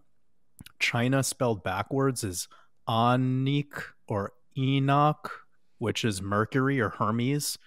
And this plays a big role in like the reestablishment of the power hierarchy, the power trinity that we're moving into, which was started with C19 and Wuhan. So I have a, I think I talked about this on my last podcast, how the Holy Trinity, uh, it's the unholy Trinity of Washington, D.C., um, City of London, as well as Rome or the Vatican, more specifically, those three obelisks, that's all coming to an end, one ritual at a time. And it's being put into new centers, you know? But if we think of the current Babylon, uh, it is London, baby London, Babylon, that is coming coming to pieces through the recent uh, ritual they had with the Queen. Then you have the current Pope is clearly not a religious ruling uh, leader at all. He's a Jesuit. Uh, that's all obvious. That's about taking the top three Abrahamic religions and bringing it into a unification system, which will then unify all religions and create a global religion, a one world religion. That's that agenda of this current Pope. And that's obvious as well.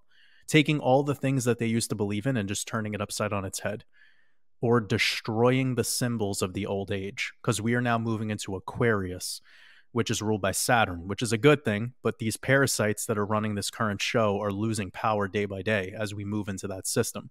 So people got to pay attention to this as it's being ritual. 9 11 was to put New York in the hot seat through the ritual. We have the death of the Queen, which was right around that same time with the Georgia Guidestones bullshit.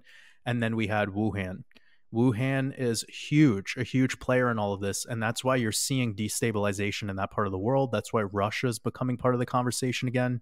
They're wiping out that part of Asia because it's going to be a new center for the new culture that they reestablish of the new age.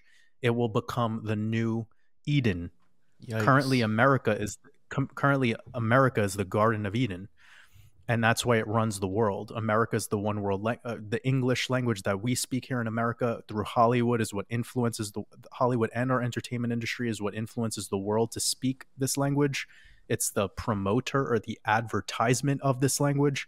Then we have our money system as the global reserve currency, the US dollar. It is the world reserve through the the banking system with the Federal Reserve System. And then we have all the other control through military, correct? The literally military bases at all corners of, of every country, control everywhere. That system is in process of changing guard. Um, so studying the Knights Templar and the Teutonic Knights and what's going on with them, we're we're at a really pivotal time.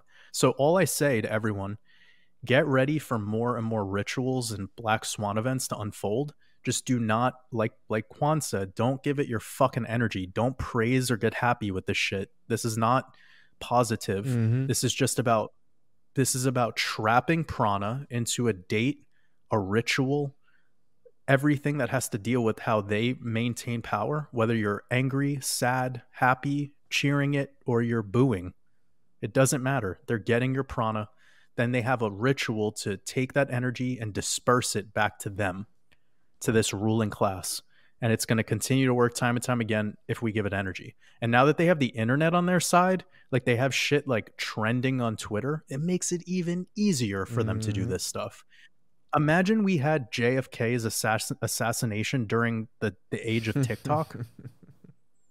imagine how much prana that would have harnessed. Like, imagine, bro. Imagine we had uh, Martin Luther King's assassination, but with also iPhones in our pockets. All the angles. So their, their work is their work is cut out for them, bro. Because now they could do CGI, fake artificial assassinations. They could show you a person speaking and put a completely different face on them. It looks almost realistic. the The facial expressions look real. You know what I'm talking about? Like this uh, AI face generation shit they could do. We're we're we're we're there. Like we're right there at the breaking at the at the cutting edge of optics and manipulating um, what people are are seeing and believing. I'm going to leave you one more, one more thing, bro, because you're talking about we talked about the monetary system, and you keep bringing it up. Well, the Federal Reserve, you know, it's a private corporation, right? It's a private, mm-hmm. privately owned entity. Well, what is it also? It's also the creature of Jekyll Island. It's such a good point. So these the guys, Titanic sinking ritual. Yeah, and who who was also at the core of it all? John D. Rockefeller. I mean, I'm sure that's just a coincidence. no, no, nothing to see here. So, again, dude, I think it's all connected. This was a wild ride, and hopefully, people stuck around. It's almost three hours.